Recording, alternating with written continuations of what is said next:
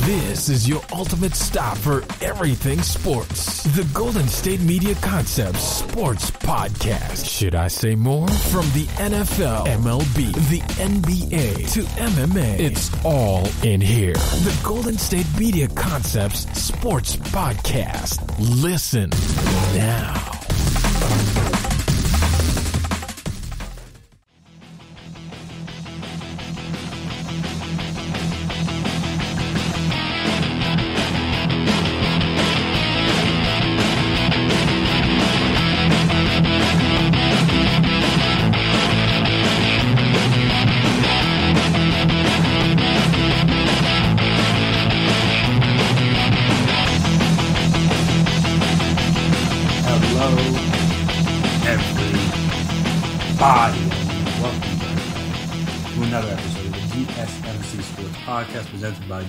GSMC Podcast Network.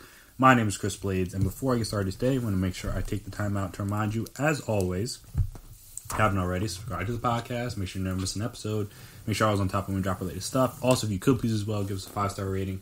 Or us a review. Very appreciated, very helpful. Allows you to guys like, which I dislike, the ways you can improve, all that fun stuff. And also, if you're on social media, we're on social media, so you can find us there Twitter, Instagram, Facebook. We can talk, we can chat, we can debate, we can discuss. And there's a lot to discuss from a very action packed sports weekend. There's a lot to discuss just from today. Obviously, I'm recording this on Sunday. Um, like I said, a lot to discuss from the NFL slate. Talk about uh, the Bills looking like the real deal. Talk about how um, the Saints are going to be in an uphill battle in their division now, having dropped two straight, and their quarterback, uh, apparently the one that we thought looked old in game in week one, actually is not the one that looks as old though. I mean, better weapons. We talk about that. Talk about the Packers looking good. We can talk about um, Dan Quinn. I, I I don't understand how he has a job after week four. Um, we talk about Adam Gase. I don't understand how he'll have a job after week four either. But we're going to talk. uh, Well, we're going to start at least the, the conversation talking about the, the, the NFC East. And I say this due to the fact that I think this could very well be the worst division in football.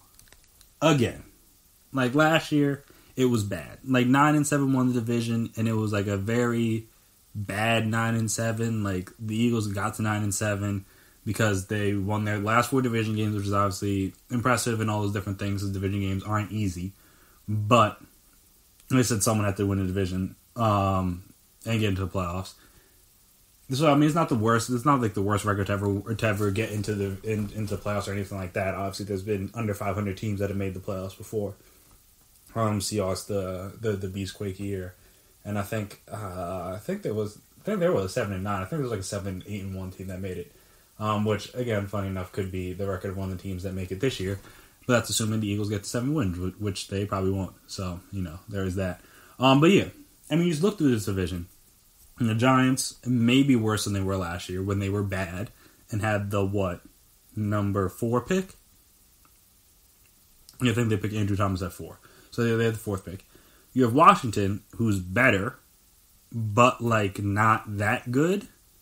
So, all right, they might not have the number two pick, but they're still not going to win that many games. Like Dwayne Haskins' offense is still not all there. Um, so there's that. Dallas looks basically the same as they did last year, where any bad team, or well, yeah, any bad team they're probably going to beat, and a lot of good teams they're going to struggle with. Um, and again, they took them uh, literally historic collapse, which I mean would have been historic, I guess, had it not happened again the next weekend to the same exact team.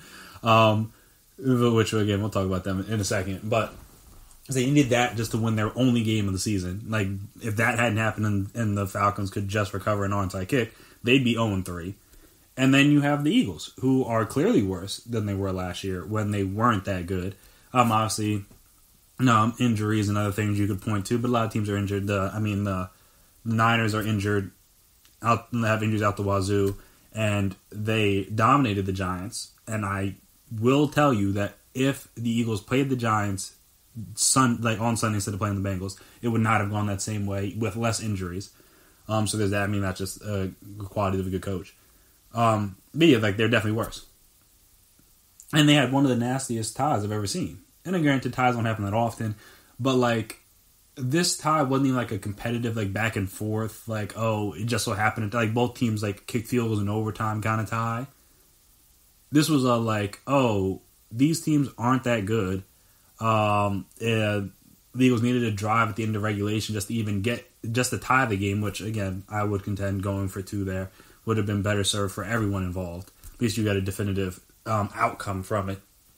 And again, you're putting a lot of faith in an offense to score in overtime that had not shown the ability to consistently score throughout the game. So that's, I mean, a separate point. But that's not even the worst decision of the game. Um, obviously, things happen. There's punts back and forth. No one can really move the ball. Um, the Bengals just because they the Eagles defense play a little better, and the Eagles because they would move the ball and then they get around like the midfield, forty yard line area, right right at the edge of field goal range. Then you have like penalties and lost yardage and different things like that. And it was just like anytime you thought like, oh, okay, this is probably what the Eagles are going to win, they just found a way not to win, and hence we're here with the tie. Um, so yeah. So then he gets okay. So they, they get they get to like a third and seven with like thirty or no like twenty seconds left. They throw a slant um, that drops incomplete. I don't know what the plan was there because barring him running that for a touchdown, like you're gonna have to if he catches it but it's short of the first fourth down or short of the first down, you have to go for it and then spike it because like I don't I don't know what the plan was there. Um, but whatever. Um, so then they get that it's incomplete. So boom, they um, they tried out um, for a 59 yard field goal. They get a false start because of course they do. Why would you? Why would good things happen? Um, then from 60, which would have been like a 64 yarder, they're just like ah, nah, we're not going to do. It. We're going to punt. And I'm like, either A, kick the field goal, because again, if you didn't think, I mean, the chance of him making 59 yarder are slim. Obviously, the chance of him making 64 yarder are less or less than that. But it's like, what's the difference? Like, there's a slim, there's a slim to zero chance he makes 59 yard. Just there's a slim to zero chance he makes 64 yard. Like, if you had enough confidence from 64, it's not like, um, it's not like he was gonna like lighten up a little bit on 59 yards as opposed to 64. He's still to try to kick it as hard as he could. So again, it probably wasn't going to work. I mean, 64 yards are hard to kick. Like it's, it, I'm not saying it was going to work out or it was going to go well or anything like that. Like they probably, he probably Jake Elliott would have missed the kick most likely. But though he did hit a 61 yarder against the Giants, um, so there's that, and that one just barely snuck in. Um, but still, I'm just like, all right, the chance of him making the kick are slim anyway. But um, obviously after the false start, all right, so even if you don't think he can make the kick, I don't see why you don't like go for it because not like the Bengals defense is that good. The few times you try to throw the ball down the field towards the end of the game, they got multiple pass interference penalties. So I mean, it's not like you have this great secondary. They were able to get guys open down the field, i.e., Miles Sanders on the left sideline on a nice little sluggo route on a linebacker that Wentz just missed them on. So I mean, hey, if you don't think Wentz is going to hit the guy, that's a separate point, which is fair at this point because he's playing terribly. Um, but I just don't understand the logic behind being like, yeah, we're going to play for the tie against the Bengals. The Bengals. Like in a couple of weeks when they play like the Ravens, if you want to play for the tie then, if you have the opportunity, all right, it's a different story. The Ravens are actually a good team. Tying like as as a bad team like the Eagles are, if they tie the Ravens or beat them, that'll be very impressive. And tying the Bengals just makes you look like even more of a disaster than before. Because again, you, clearly you couldn't beat them and then like I said, you didn't, you didn't even try to to. I mean, you didn't even try at the end to beat them. Like clearly, you couldn't beat them in regulation, and then once you got to overtime, you didn't even try. I'm not saying they didn't try off; they tried to move the ball and things, but once it got to like, oh, we'll give it a shot, they didn't even give it a shot, and they were just like, yeah, we'd rather punt. Well, Doug was like, yeah, we'd rather punt. And it's gonna be funny because by the time you hear this on Monday, probably will have re- retracted and be like, you know, we probably should have kicked, or we should have went for two there at the end of the game, blah blah blah. And I'm like, all right, like of course that's easy to say then, but it's like the same logic that would have that applies now applied then in the decision time. It was like, do you want to try to win the game? If the answer is no, then punt. Cool. I'm not saying he would have been the only coach to punt. There's a lot of coaches that would have tried to punt in that given that scenario, especially after the uh, false start. But again, I five yards is a big difference. But I'm like the chance of him making a 59 yarder was slim anyway. You're going to try that, so like moving it back five yards, like all right, we might as well give it a shot. If we if you miss it, all right, they're at the fifty yard line with like twelve seconds left. Tackle them inbounds. The time you have so basically you're saying not only do you have zero faith in the offense to get an onside to get convert convert a convert excuse me a fourth and twelve. You have zero faith in the defense to be able to not give up like like what? Like 10 15 yards for a good um for for like a legitimate field goal opportunity. And you don't have any faith in your field goal team to block it. And then you don't have any faith in Jake Elliott to make a long kick. Then again obviously 64 it's excessively long but like still like it just at some point I, I don't imagine how that will play in the locker room among the obviously they won't say anything bad on the outside, but it's inside the locker room and just like it, it speaks to a coach that is like this team is not that good right now. We got to take whatever many wins we can get. And because they they tied, they were the only team in the division not to lose today. So the Giants got smoked. The Washington uh, lost by two scores, and then the Cowboys game, which was actually at least entertaining. So give them that. And that's like I said, the, they're basically the same thing they were last year. They're going to be a great offense. They're going to score a lot of points. When you put them up against a good team like the Seahawks or a good offense, they're going to struggle and like all I mean not as much in the second half, but all all in the first half. Seattle play action just had guys running open deep every time they wanted to. Tyler Lockett had what three first half touchdowns I think. DK Metcalf would have had a touchdown in the first half if he didn't. I, I don't know what he was doing because at least DeSean Jackson when he did that he was by himself, so he was like, oh yeah I thought across the goal line or um, so like, all right, he let the ball go. Like DK Metcalf had a guy chasing him. It's not like he didn't like unless he thought the guy fell. Like, it's not like he didn't know the guy was behind him. Like you knew you beat him. All right, cool. But it's not like you didn't know the guy was behind you. And he just let up, and then Trev- um, Trevon. I think I don't know if it's Trevon Trevon, but I think it's Trevon. Uh, Diggs, Stefon Diggs' brother, had a nice play. He, didn't give up on the play and poked the ball out because DK Metcalf slowed up and didn't tuck the ball in. It didn't make any sense. I don't know what I don't know if he thought he was closer to the goal line. Like I don't, I have no idea what was going on.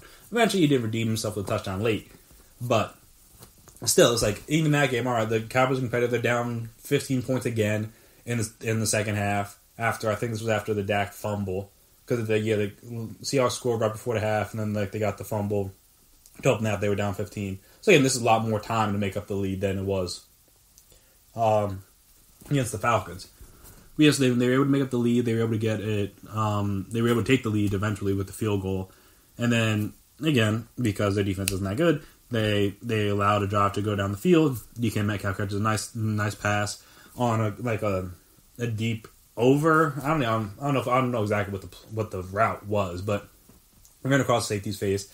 Um, clearly the corner who was out there thought he was going to continue um, um, was thought the safety would have seen him and then would have continued to run with him. But once he crossed his face, DK Metcalf was too fast, and it was all over from there. Russ threw a nice ball because he that's just what he does. He throws nice, a nice deep ball. Um, and anything that he has to put loft on him just looks like he drops out of the sky perfectly almost every single time. It's very impressive. Um, they touch on his deep on his deep passes. Yes, he caught that, and the Cowboys had a chance. They had a nice drive. They they were able to move the ball because they were just Seahawks were just allowing them to dink and dunk their way down the field because they knew again due to the fact they were up seven, they knew the Cowboys needed a touchdown. So it's not like they were just giving up yards into field goal range. They're like at some point the Cowboys have to try to go for the end zone, and they did on their last playoff offense. Um, and Dak did a great job of not coming down, um, or not going down on a sack. Was able to maintain his feet, stay up, but then unfortunately, instead of just like throwing the ball out of bounds or and lower living to see another down, tried to force into the end zone and got picked off. I mean, he had a good game. Otherwise, he, I think he's like the first the Cowboys quarterback. I mean, not first Cowboys quarterback, obviously, but he's. I mean, they haven't had a back-to-back 400 yard passer in a while, and obviously he was that. I believe now he has the the record too for most, um, the most 400 yard passing games with six. I thought I saw that on Twitter. I could be wrong about that. Cowboys fans, please correct me. Um, I thought he passed Tony Romo to give him six. Um, but yeah, so at least that was a competitive game. Like that's it was a game that hurt for the Cowboys because they lost, but like it was a much more entertaining and competitive and fun game to watch than was the Eagles Bengals or was the Giants Niners or was the Browns. Well, depending on who your team is, or was the Browns um, um, Washington football team game. So again, the, the Cowboys are probably win the division because like they have the best offense, and I think they're going to beat up on the NFC because the Eagles aren't that good. The Giants aren't that good. Like I said, that should be three to four wins. They might split one with the Giant with the Eagles just because. And then Washington is like a weird one because like their defensive line is like pretty good. Their front seven isn't bad. Secondary is like eh, depends. And then um, their offense is not really that great because Dwayne Haskins isn't that good right now.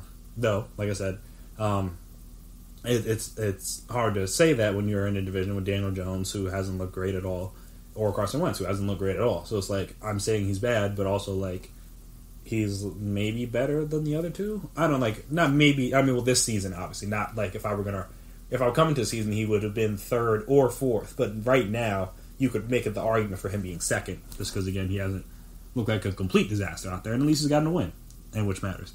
So there's that. That'd be a good win for the Seahawks. Obviously, they go to three and zero, and again they they did it with some injuries. Jamal Adams missed uh, the most of the second. I mean, I well definitely most of the second half. I forget when he got hurt, but it was with a groin injury. He's out there though. I don't understand why he was standing up. It seems like it was a little dangerous. Um, but whatever. Um, so yeah, they got the win there. The Packers, like I said, were able to outduel the Saints in another very entertaining game, thirty-seven to thirty.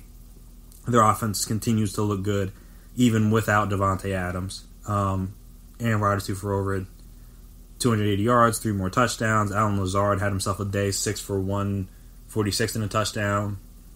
Aaron Jones at 69 yards on the ground, a touchdown.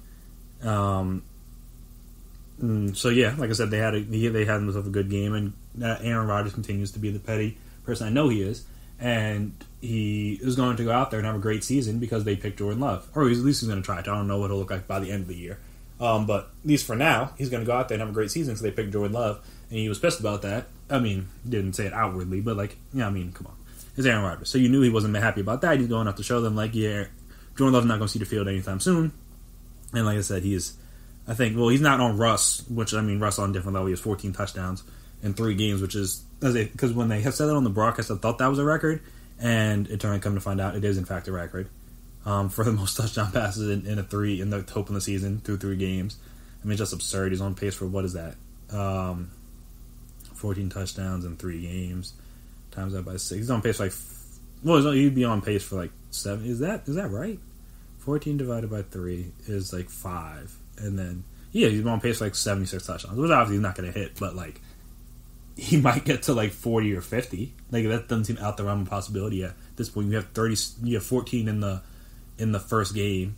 I mean, 14 in the first three games. You need 36 the last 13 to get to uh, um, to get to 50 and at this and that would lower his average touchdowns per game. At this point he's at like almost five a game and now that, that, to average 36 or to get 36 for the rest of the season he'd have to i think what 36 divided by 13 that's like no 36 oh, uh, divided by 13 is like my calculator's not working. 36 divided by 13 is like 2.7 touchdowns. So, again, not impossible. Um, but we'll see. Like I said, MVP Russ is still very much alive and well. Also in the NFC, well, um, just one more quick thing on the Saints. Um, Drew Brees looked somewhat better. I don't know. Um, Alvin Kamara had had most of the targets, so he had 13 catches for 139 yards, two touchdowns. Obviously, had the long 50 yard, which was a great play and slash or bad tackling, whichever way you want to look at it. Um, but just great play, great balance from him to be able to stay up. A great play from the, center, Erik McCoy, to get down there and block for him out in front. Um, but yeah, that was um, he does not a whole lot of downfield work, not a whole lot of wide receiver work. Um, Emmanuel Sanders had four catches. Uh, Tremon Smith Oh, Tre'Quan, excuse me. Tre'Quan Smith had four receptions. So again, a lot of it was underneath stuff. A lot of it was stuff to, like I said, to come out of the backfield or, within the ten yards of the line of scrimmage. So that I mean, you, that's just what Drew Brees is, and that's what he's going to be this year. I mean, he's what he's been throughout most of the year, but then obviously without Michael Thomas, it makes it so he's going to go to go to the guy he feels comfortable, and the guy he feels comfortable with, which is reasonable in my opinion, is Alvin Kamara. Going to throw the ball to him a lot. So I don't know how they're going to navigate that because they got to figure that out. Though the Lions next week, the Lions aren't that good. Though they did pick off Kyler Murray three times, so they derailed their little. Um, I don't know if we're going to call it a hype train, but just a little bit. Kyler Murray looked a little bit more human, at least through the air. Running the ball, he shook Jeff Okudah out of his shoes. It was, I mean, that was disgusting. I felt bad for Jeff Okudah. He's been, he's had, he's had, a, but he got the pick. Got the pick later in the in the game, so that helps his case. Like I said, they, they were able to, they got three picks off Kyle, so not exactly his best day. Um, but let's see if they we'll see if the Cardinals can bounce back against the Panthers next week. Um, like I said, the Lions got their first win of the season. Um, but yeah, I'm trying to think of anything else exciting that happened in the NFC. Um, oh yeah. Oh wow, I didn't get to talk about Dan Quinn yet. You know what? Um, Dan Quinn's in a lot of time, so I'll talk about him um, in the beginning of the next segment, and then we'll talk about the the big uh, performances and big games and the, um, the good wins from teams out of the AFC. So we'll discuss all that right after the break. Stay right there. Are you looking for the very best NFL and college football podcast? Then check out the GSMC Football Podcast. Get the latest football news both on and off the field. From the NFL draft to trades to the rumor mill to the NFL combines, they got you covered. That's GSMCpodcast.com backslash football dash podcast. Get updates on college rivalries, game day insights, and much, much more. It's football talk the way you want it. This show eats, sleeps, and breathes football. Don't forget to like them on Facebook and follow them on Twitter. Visit gsmcpodcast.com for more info.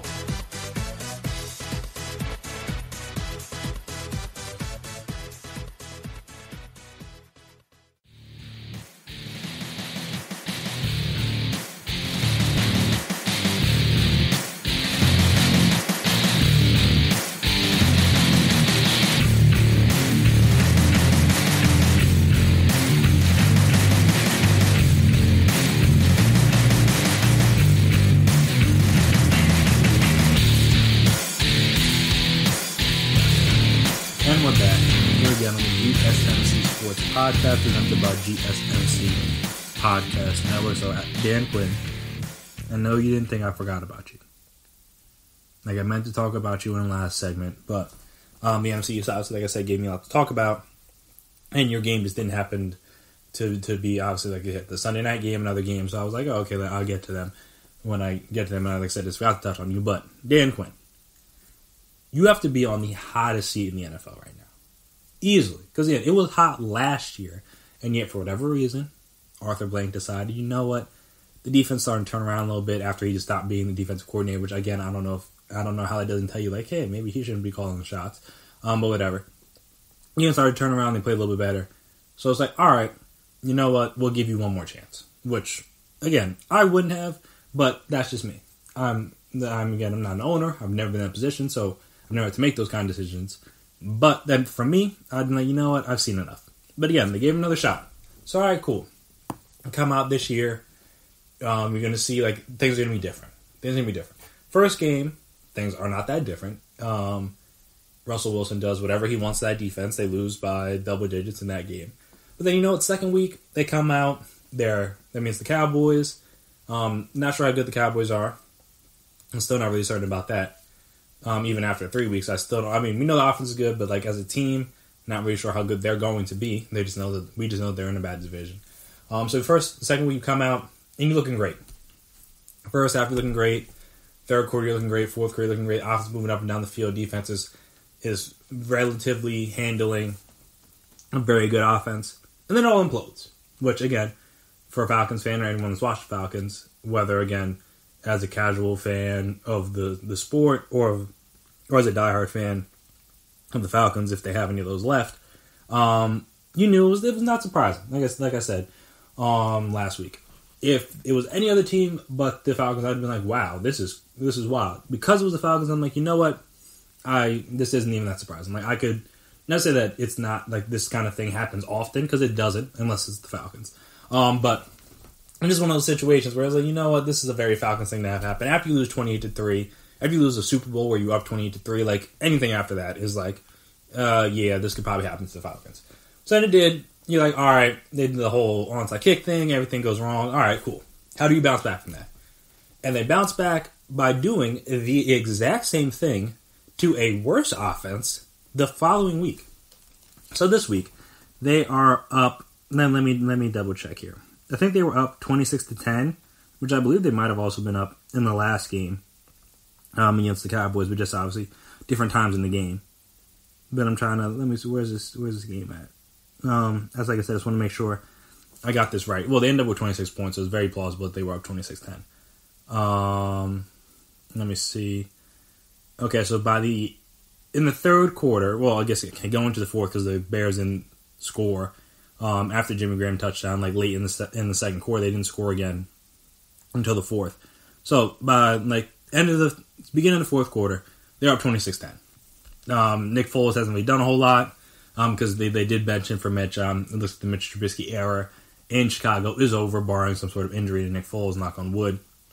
Um, and it was just one of those situations where, like, all right, they're 2 0. Like, he had played all right for a quarter against the Lions, and, like, against the Giants, he didn't look that bad, but it's also like the Giants. Um, like I said, then that's not really a good barometer.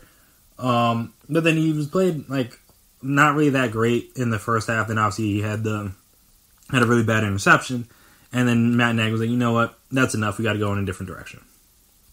And like, hey, I get it. It's a good team. You think this team can be good. You think this team can be something. And if you think that, then you're not going to. You don't want your team to be held back by the quarterback for two years in a row. That's basically what was held back by last year. They went eight and eight with average to below average quarterback play. And if they had just gotten slightly better quarterback play, or like just average quarterback play, because again, I, I would argue wasn't even average last year from Mitch and then Chase Daniel. Um, if they just even got average, things might have worked out better for them. They might have maybe snuck into the playoffs. So then, then this year, Matt Nagy's like, you know, we're not gonna have that happen again. So that's why they brought Nick Foles just in case. We're gonna give Mitch the the beginning of the season, try to see where he's at. But at some point, you knew he was probably gonna get benched because he's Mitch Trubisky and he doesn't, he's not really that good. Um, so you knew it was gonna happen, and then it did happen. So Nick Foles comes in. He's got a little shaky, but he ends the game 16 to 29, 188 yards, three touchdowns, one interception, and the Falcons lose. Again, up 26-10, and they lose again. And it's not. And this one was more on Matt Ryan because Matt Ryan was also not good in that game. And he had the he had to pick a bad pick late there, obviously to seal it. He missed. Uh, I think when they were up 26 to 23.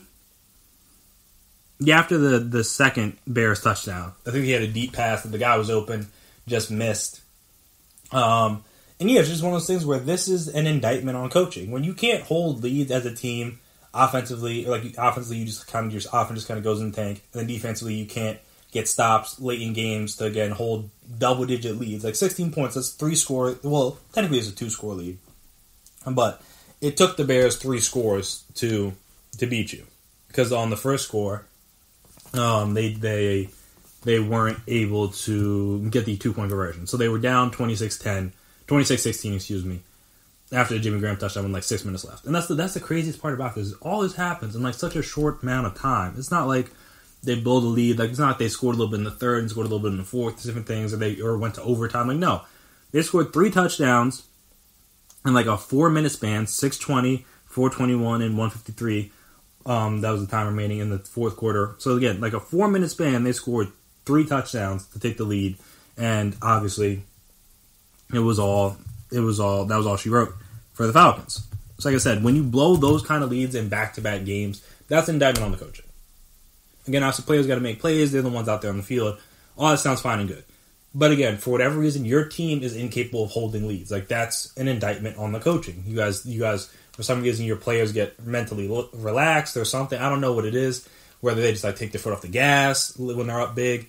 Like I said, after you blow a lead of that magnitude a week ago, you can't have it happen again and expect to keep your job. Like again, you can have it happen because it, it, clearly it did and it, it, happened, but you can't expect to keep your job.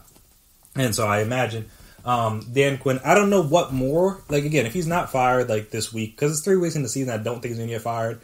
Um, like I said, they play the Packers next week on Monday night. Like that's probably a loss.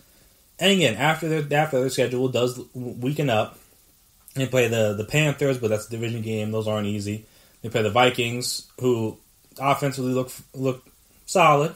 Justin Jefferson had a great game today, but defensively not that good. They play the Lions, not a not a bad team. They play the Broncos. Um, well, they play the Panthers again and the Broncos. So, like I said last last week, they're a team that if they got things right this week and going into next week, maybe they could have had something. But now I, I I'm completely off that train. Maybe they do, maybe they don't. I don't know. Like I said, at this point, Dan Quinn can't keep his job. He can't still be the coach next year. He just can't. Like he's shown you who he is, and when somebody shows you who who they are, you should believe them. And like I said, I believe this team under Dan Quinn just is going to is a team that's going to week in and week out have a chance to just blow leads. That's who they are. They're, they're just I don't call them choke because that's like harsh, but like um, if you have a synonym for that, insert it there. That's what they are. And like I said, that's that's what they've been under Dan Quinn's leadership. And it's just that at this point they need to move on. And like I said, they're kind of stuck because I think they would have the first pick right now if um the draft for today. It's not obviously. Like I said, they're kind of stuck because it's like Matt Ryan's on a big contract. It's not like they can get out of it that soon. He's like I think he's what thirty five. So it's not like he's young. Um, but like I said, they get the number one overall pick. Like, do you like you have to plan for the future? Would you not take Trevor Lawrence? And then if you do take Trevor Lawrence, yeah, he's thirty five. Will be thirty six next March. Um, well, then if you do take Trevor Lawrence, it's like at what point do you move on from Matt Ryan? Because like I said, usually the issues hadn't been Matt Ryan. He wasn't that good in this game, but he has what he has currently three more years left on his deal. Their only potential out is in well, their potential out is in 2022. So he's there through this year, he's there through next year. Um, so like I said, it's just I don't really know when they'd be able to get out. Like, like the, the best situation for them would be in 2023 because they only have if they got rid of him, then they only have eight million in dead cap that year. Like I said, after this season, they have. Well, I guess we're going into next season. It'd be 49 million, I think, and going into 2022, it'd be 26 million in dead cap if they want to pay that. Um, but like I said, I don't know, and no one's going to trade for him. He's old. He's old. Like I said, he's a good quarterback, but he's he's older. Like I don't know where who would trade for a contract that big at this time. So like they're kind of stuck with him. But it's like if I'm a new coach, I don't like I like Matt Ryan. I think he'll be fine, but I, I want to have someone I can build and grow with. Like again, Matt Ryan's going to be 36 by the time a new head coach takes over, whoever he is. Like I said, obviously you have the guys like Drew Brees and Tom Brady that played into their 40s. I was like, that's not the norm. Most most quarterbacks don't last that long. So like, they got to figure out something there. So yeah, like I said, Dan Quinn on the hottest seat. Um, he should be gone. Um, this I don't know if it's I don't know if it's like if they have another embarrassing performance on Monday night. I think there's a chance he's gone. Um, but again, I don't know how, how short Arthur Blank's leash is going to be after again you gave him an extra year when you didn't have to. So we'll see about that. But like I said, the Falcons, I didn't forget about you. Well, not the Falcons, Dan Quinn. I didn't forget about you because Falcons fans, you guys don't deserve this. Um, there's no reason that sports should be this painful.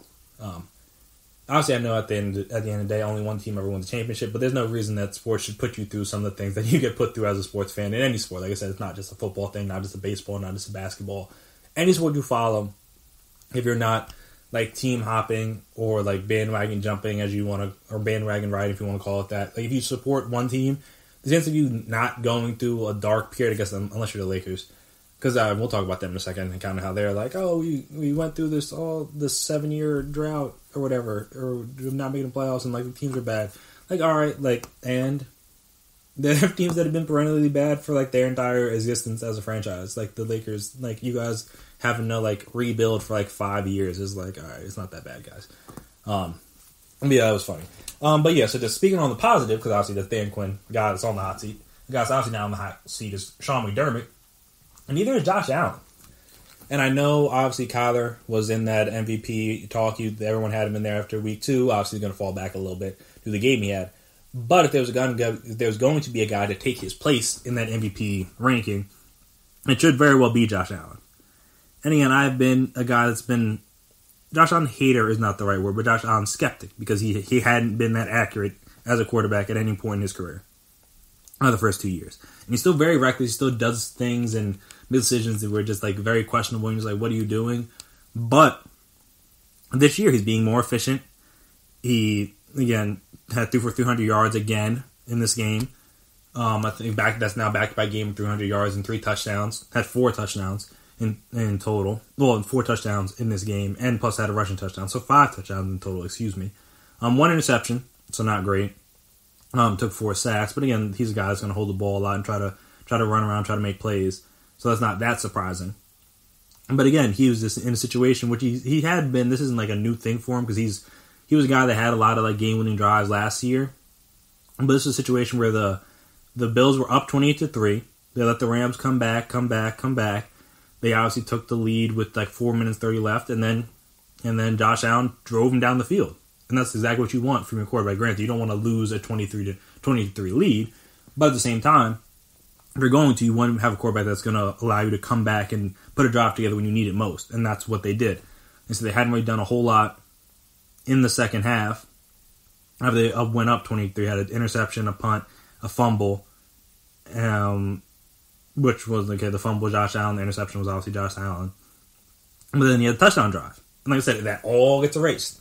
No one cares about any of that stuff anymore. And again, it's still there, and that's why people that are still Josh Allen skeptics are still going to be Josh Allen skeptics because the the the the the, the screw ups are still there. Just like the highs are a lot more frequent this year than the lows. Like the lows are still there with the turnovers and different things and some of the decision making.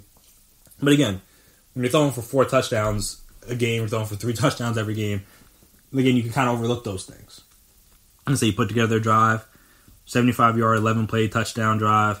Um, not aided by a very ticky tack defense pass interference call. Could have easily let that go. And then obviously we're having a different discussion about how the Bills blew his lead and blah blah blah. But um, unfortunately for the Rams, that's not what happened. He called it. Like I said, it was a tough one. I don't know if I would have called it if I'm a ref, but I'm also not a ref, so there is that. So they got that one in the next play, um, of course, of course, they scored and the Rams scored a touchdown. So, no, not the Rams, the the Bills scored a touchdown. So again, shouldn't have been in that position maybe shouldn't have even won that game due to the pass um, pass interference call that went against the Rams. But at the end of the day, it goes as a win for the Bills and as a loss for the Rams. And a lot of that reason why it was a win for the Bills was because of Josh Allen. So I said you can't take that away from him. You can't make fun of him. You can't try to um, denounce him or diminish his accomplishments. He's been great this year. Like I said, there's nothing really else to say about that. Again, he still turned the ball over with the fumbles, and the interceptions, things like that. He still needs to clean that up. But again, he's what he got ten passing touchdowns through three games, one interception. Um, yes, I think he has like a couple fumbles. So again, that needs to be cleaned up. But again, he's been great. He's been better than most people thought he could be at this point, or thought he was going to be. Was completing 70% of his passes heading into today, and then I think it was what 24 33. So that is a 72% completion percentage. So again, he's completing a higher percentage of his passes than people thought he was. I mean, he was inaccurate in, in college. He's inaccurate his first two years. I don't know if he's going to keep up, but again, maybe it, maybe he just turned a corner. Maybe he's a new quarterback. Maybe he took Carson Wentz's powers. I don't know. But again, he's playing well, and you have to give the Bills credit for that. And if the Bills are getting quarterback play like this, because they're they were eleven to five last year with average to like above average sometimes quarterback play. If they're getting good to great quarterback play on a week in week out basis, they're going to be a team to be reckoning with in that AFC. Obviously behind the Chiefs and the Ravens, but again, someone's got to be a three seed. It could be them. Um, so, like I said, the good win for them. Also in the AFC, like I said, um, Jets stink. Adam Gase. I don't think most coaches don't get fired their second year, but again, the reason why he could just because you've seen no growth from Sam Darnold. Like obviously he came in as a quarterback guru, quarterback whisperer, whatever you want to call it. Obviously, part of that was because he was lucky enough to work with Peyton Manning, who obviously is basically his own quarterback coach, his own offensive coordinator, does everything. But um, there's a chance that if Sam Darnold doesn't pick it up because he's been bad this year, three touchdowns, four interceptions, through three interceptions today, including two pick sixes against the Colts, who I mean their defense isn't bad, but it's not it's not like that. Um, obviously was all right as a rookie, was like okay as a second year guy. Obviously, the mono, different things slowed him up a little bit. But again, has never really had a season warranting you, you being like, you know what, he's our guy. And like I said, if that doesn't turn around for him, there's no reason to believe that a guy coming in fresh would be like, you know what, I want to tie my my my um coaching not not legacy, but my coaching um, tenure here with the Jets to Sam Darnold, especially if they have a high enough pick to draft a Trevor Lawrence, draft a Justin Fields, draft a Trey Lance, or whoever you whoever this this coach wants. Assuming it's an offensive guy, I do, don't know if it'll be an offensive guy. like I said, there's no guarantee that they'll want to keep Sam Darnold if he doesn't he doesn't improve. Like I said, same thing that happened with Daniel Jones, where like if, if he just shows little improvement, still making still turning the ball over, still fumbling, still having questionable decision making.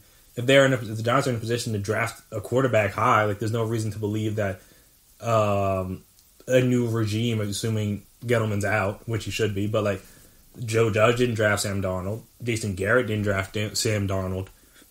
Like I said they have no ties to him other than he was already the quarterback there, and it was his first year, so they weren't going to pull a Josh Rosen, I guess.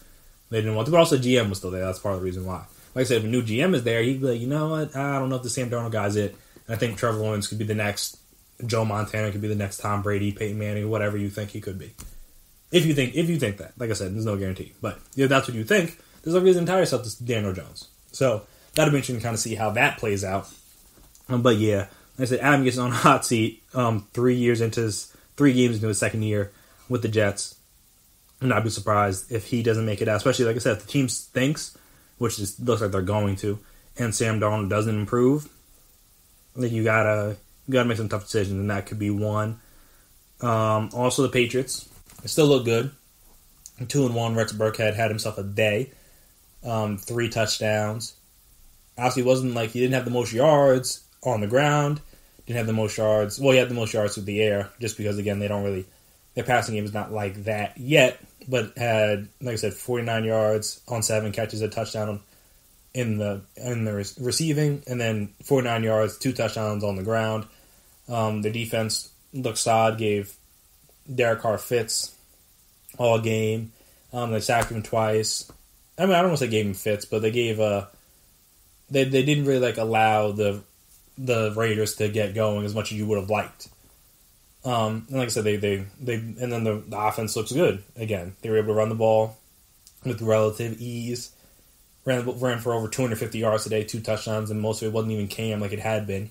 He had nine catches, 27, but when Sony Michel gets 100 yards, over 100 yards on nine carries, like I said, Burkhead had 49 yards, J.J. Taylor had 43 yards. Like the the Patriots going to beat you in different ways every week. That's just how who they are, and and like I said, they continue to show like, yeah, no, we're not going anywhere yet. And like I said, their their schedule. Well, I mean, the big game for them and the big game for the Bills will be the Week Six matchup because they play the Broncos next week. They should beat them. They play the Niners. Could be a good matchup if guys are more healthy for the Niners at that time, but who knows? And that one that I was like I said, the Bills. That'd be a big one for potentially um, the first crack to see like who the main dog is in the AFCs. If it's, is it still the Patriots or is it the Bills' time to shine? Like I said, we'll see that. Um, and and obviously the for the Raiders, it it knocks them back a little bit because they were two and zero oh heading to that game, and they play the Bills next week. So that they play the Bills and Chiefs. Like I said, they want to find. We want to find out who they were over these next three games, next four games. You could argue even next five because they play the they play the Patriots. They lost that one. They play the Bills, they play the Chiefs, they play the Bucs, and then they play the Browns, depending on how good you think the Browns are. So, like I said, we're going to find out a lot more about the Raiders over the next few weeks. First test didn't go so well, but they have another chance to bounce back against the Bills, see how they can do there. And obviously, the big one will be against the Chiefs, potentially for early first place in the AFC West on the line. I said it seems like it's going to be a two team race. the, the Broncos, with all their injuries, they're probably done for. And the Chargers, with a rookie quarterback, it's hard to expect them to be in the race at least they're, they're going to be competitive. Um, but like I said, I don't know if they're going to be able to compete with the Chiefs. Obviously, they're not going to be able to compete with the Chiefs. But I don't think they'll be able to keep pace with the Raiders either. So, see how that goes. But yeah, some interesting, some interesting games, some interesting results, some interesting performances, some outstanding performances across the league. Um, it's an interesting one. Like I said, I watched that interesting a lot. But um, it was very good. Another very solid week of football. Uh, I think also Falcons, because uh, of course they did have the first COVID related game absence from AJ Terrell, their rookie cornerback. So we'll see how that goes. Because obviously they let everyone else play. So don't know about that. I guess whatever concentration they did determined no one else was at risk. But you hope that's the case because obviously they played a whole game. Um, so you don't want anyone on their team getting it or seeing that they got it throughout this week and then also, for anybody on the Bears, you don't want them getting it either because I'd be pissed if I were a Bears fan and my team got and the opposing team got me sick because the they didn't they, we didn't follow the right protocols and didn't postpone the game or cancel the game. You're not gonna postpone it. Um, unless they both play on like the same bye week, or unless, unless they both have the same bye week or something like that. But you get the point. Um, like I said, we'll see what kind of happens with that. That'll be an interesting thing to monitor this week, along with obviously Dan Quinn's job security. But yeah, good week overall, and um, we obviously get the big one on Monday. Ravens Chiefs. I mean, one of the best early season matchups you may ever. Yeah, I'm not gonna say ever see, but like normally we don't get matchups this good this early, where potentially we could be seeing these teams battling for the AFC crown for years and years to come. And we're getting it on a Monday night national TV stage, so that that's gonna be fun. Um, so yeah, should be going. Definitely tune in for that. But speaking of what could be good, the NBA Finals will be starting this week because both series finished. Like I said, they could on the last podcast. I said like there's a chance we might we might be talking about how both series are done. So we'll first start off with the game that happened on Sunday, Celtics Heat.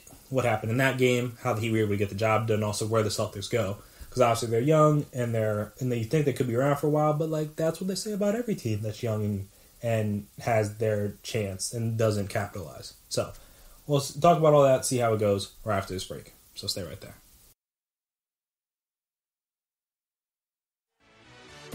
Check out the show that's built on the MMA. From the UFC to Extreme Cage Fighting, they got the fights covered. Check out the GSMC MMA podcast. Get the latest news on past or upcoming fights. Join us as we talk to and about some of the biggest names in the MMA, past, present, and future. When it's the fight game, there's just one show to check out. GSMCpodcast.com backslash MMA dash podcast. Don't forget to like them on Facebook and follow them on Twitter. Visit gsmcpodcast.com for more info.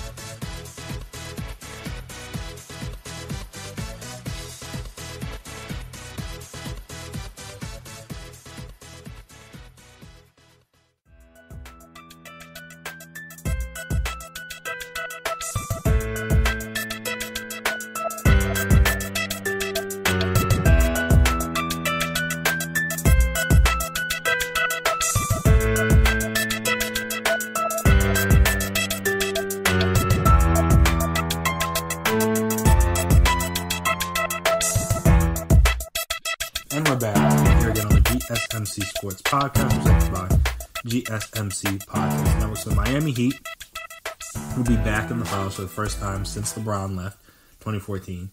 Um, funny enough, against LeBron's team, which they obviously they mentioned in the post game press conference. I felt, I mean, I, I like really like Spo's answer. Uh, I really like Spo's answer on that question because they were talking about like, oh, like I think it was Rachel Nichols was talking like, oh, like what's gonna be like playing against your former like former player, blah blah blah. And obviously, I mean, him and Spo, him and LeBron and Spo, obviously, they, I imagine they have respect for each other now, but obviously, Spo, um, um, LeBron's a little shaky on Spo in the beginning. I know they had their little the chest bumping incident, and like also there was reports that like, oh, um, LeBron may or may not have tried to get Pat Riley to come back and coach the team. May or may not have tried to get Spo fired. And they started out a little shaking, obviously. As we've seen, it was smart for Pat Riley to stick by him because he won two championships. And also, he's been a good head coach since then. Got back to the finals without LeBron, which, again, is always an impressive feat when you can do it without a. I don't. I mean, that's the that's the question. Is like is like how good is Jimmy Butler? Um, like I said, without a top a consensus top 10 player. Because again, Jimmy Butler might be top 10, especially after his playoff run, depending on who you ask. Because obviously, the, the last year's playoff run got people to believe that Kawhi was the best player in the world, which I was never really fully on that train. I mean, he's not better than KD, regardless, whenever they're healthy. Um, so that was already foolish. But also, KD wasn't healthy this year, says that. But like, I don't know if I'd have him over LeBron. I don't know if I'd have him over Steph. Different things, but that's a separate point. So, like I said, I don't know if like Jimmy Butler's in that 10 to 15 range, like probably that 8 to 15 range, where it's like after a certain after a certain player, it's kind of just like everybody, just like they're all similar level. So that you could, depending on what you want or how you feel, you're gonna pick a different guy. Like I said, it's always impressive when you can get to the finals without that like superstar guy, or even like a second superstar. Like again, Bam's an all star.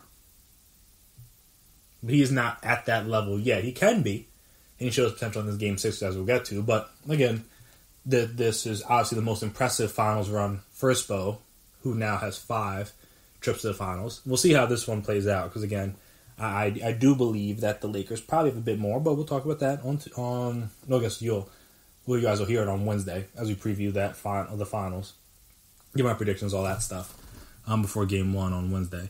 But yeah, so the Heat were able to get the job done, and it was an interesting. It was a back and forth kind of game. Um, the they said the Celtics, as I knew, they weren't going to go away on Friday, and then they also weren't going to go away today because they're they're a very solid team. So I expected nothing less. The Heat came out hot though in the first half. I mean, the first quarter scored 33. Then the Celtics responded, scored 33 of their own. So it was a two point game at halftime. Third quarter played even, and then the Celtics went on there. They had themselves a little run. Also, I think, especially in that first half, they were aided by Marcus Smart. I believe he had like four threes in the first quarter, though he only had four for the game, so that was like part of the issue. Um, but I believe he had four threes in the first quarter, so not that offense keeps pace as Tatum was struggling again. He didn't have a field goal into the second quarter. Had a bunch of assists though, but he didn't have a, a, a, a not traditional, but like an actual field goal in, until into the second quarter. Which again, slow start for him. He got it back together, but then obviously later in the game couldn't get it done. But that's when no one on the Celtics get it done. We'll talk about that in a second as well. Um, but overall, Bam was great start to finish. At 32 on 11 to 15 shooting, 14 rebounds, five assists. Um, just again, he's he's arguably their most important player. Again, a lot of people say Jimmy Butler, and I do get that because he's the de facto leader. He's um, the most prominent player, the biggest name, um, the most accolades, things like that. But again, in terms of what their team is able to do and like the unlocking their potential, a lot of it is because of Bam. Obviously, it's, a lot of it's because of Jimmy Butler too, but a lot of that is because of Bam and what he can do on the offensive end and defensive end. Again, he can be a guy that can protect the rim. He can defend on the wing. Again, I'm not gonna say he's gonna shut down like LeBron or he's gonna shut down like I don't. Well, I guess they really don't have the Lakers don't have guards like that. Like I'm not gonna say he's gonna be guarding Rondo or anybody like that every every time down, things like that nature. But he can when he switched on to them. And also on the offense, I mean, in the second half, they literally had him running point. Like just him getting, especially in that fourth quarter, they just he would just either grab the rebound, dribble the ball up, or get or get or get inbounded the ball and dribble the ball up as as a center. He was their point guard. Like I said, obviously they they prepared for that with Jokic, so this not going to be a new um, phenomenon for the Lakers. Um, but still, it's just like having guys like that can make your offensive and especially when once he can do it on defensive end as well. That's the thing with Jokic; he's not really the greatest defensive player. And I mean, he's not terrible, but you put him in pick and roll, you normally can you normally can figure some things out on how to score on him. Uh, but yeah, like he's like the things he can do on both ends of the floor. Obviously, he had the great block on on Tatum in game one. So so he's again he has those high moments on offense and defense, and and he was able to put it all together today with the with the 32 and 14 performance. Though he he he, he didn't even have like the the Duncan Robinson and Iggy had the best plus minuses on the team. So that's kind of funny. His plus minus was zero, but again, obviously he had the biggest statistical performance on the team, and he really was great in that second in that second half in the fourth quarter. It's kind of just going at Theis because Theis was he couldn't handle him. I say Grant Williams is too little. Like they just didn't have a guy on the Celtics, and that's and that's what we'll talk about in a second. Just that's kind of what their issue is. They don't really have a big guy that can be trusted in that ilk because again, Theis for as good as he is as like a as a big guy, as a small ball center, things like that. He's just too small. Like I say, he's like six eight. He was in foul trouble most of the series. Um, like I said, when they when they their best lineup is probably going even smaller with Tatum at the five, inserting like Gordon Hayward, kind of things like that. So, like I said, they don't have a traditional big, and yeah, not that Bam Adebayo is a traditional big, but he's bigger. He's six nine. Um, he's I mean, I'm not gonna say he's stronger, but he weighs more, at least according to ESPN. He has about a ten pound um, difference on Theis. So again, just that that that size made a difference. But then also they got big play from Iggy. Like I said, he hit five. Well, no, he hit four threes. Was five five from the field. That's the thing about having vets on your team. Yet every once in a while, those vets have themselves a good game, especially shooting the ball. Like I said, we've seen it from playoff Rondo.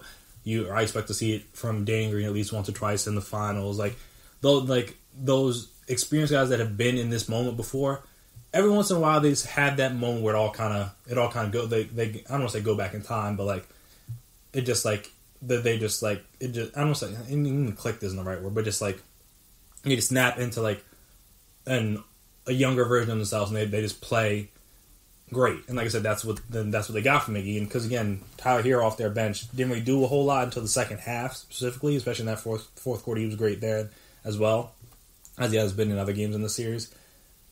But Iggy did a lot of scoring for them, especially in that third, and helping to continue to build that lead. Um, like I said, he hit the four threes, which again, he's not a three point shooter anymore.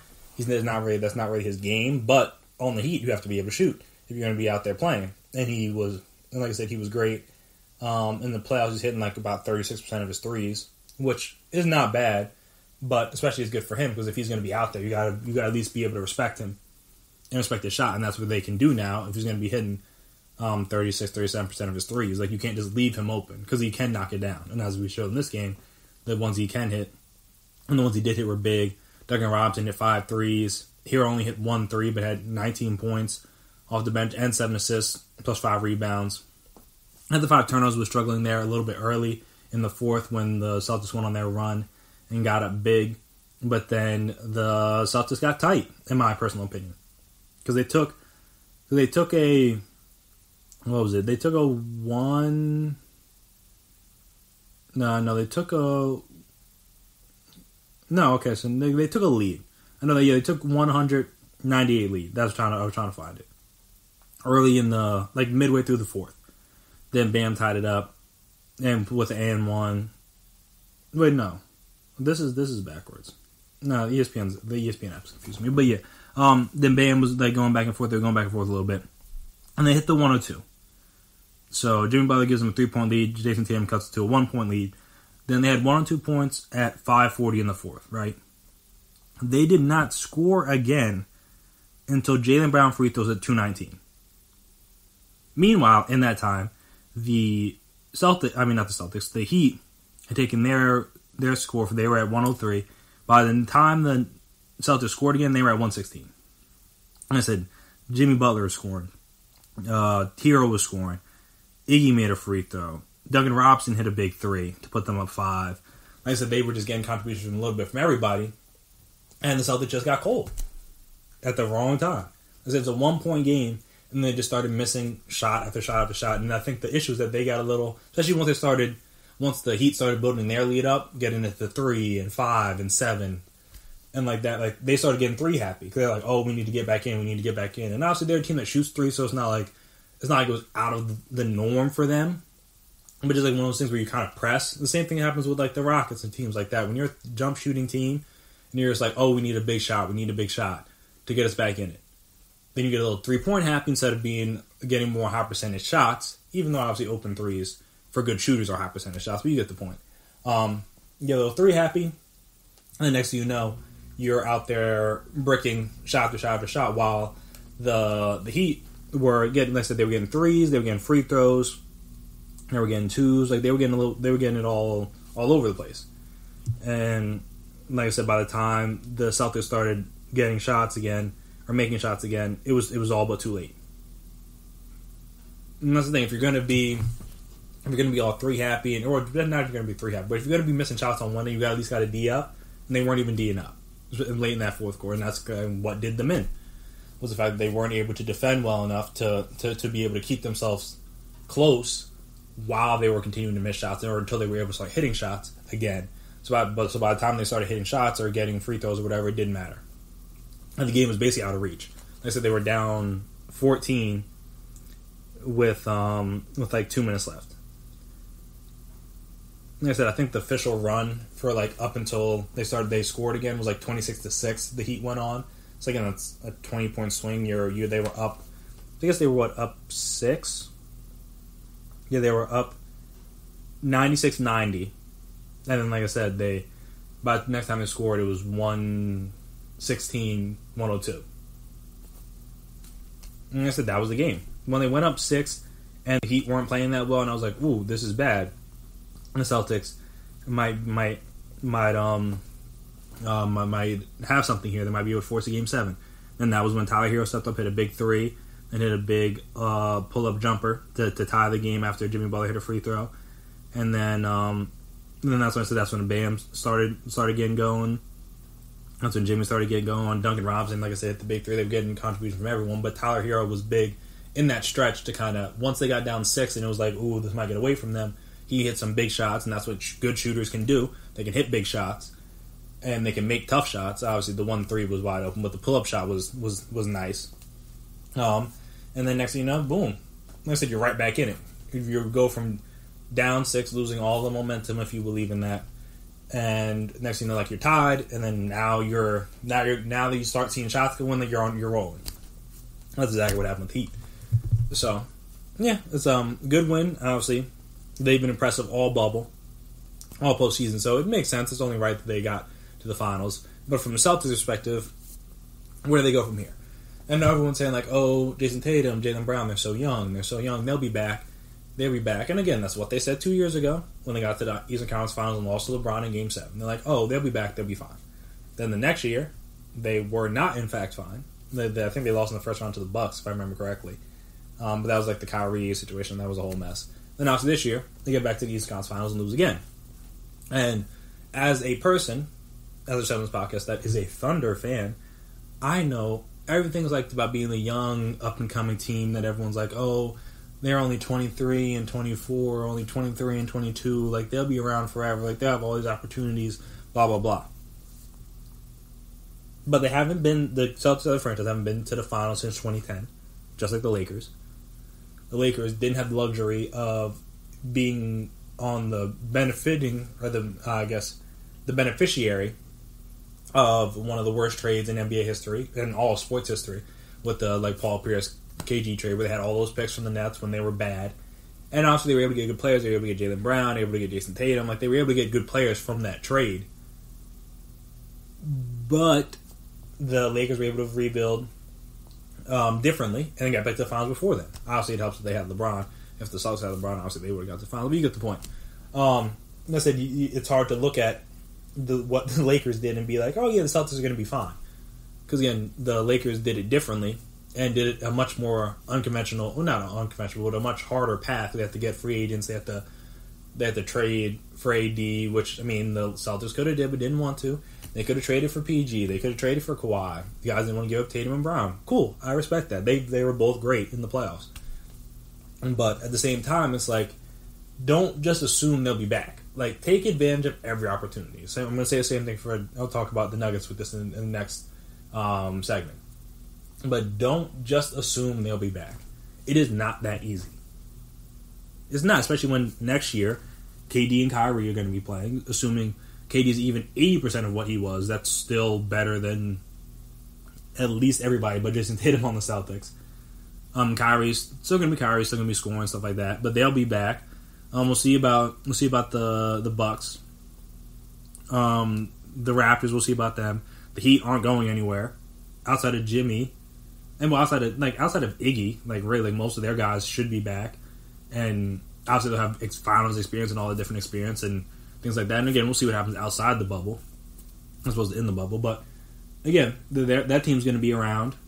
Um, the Sixers, maybe they'll be better with better coaching, or well, Ty Lue coaching. I don't know how they're going to be with D'Antoni. I wouldn't fear them too too much with D'Antoni.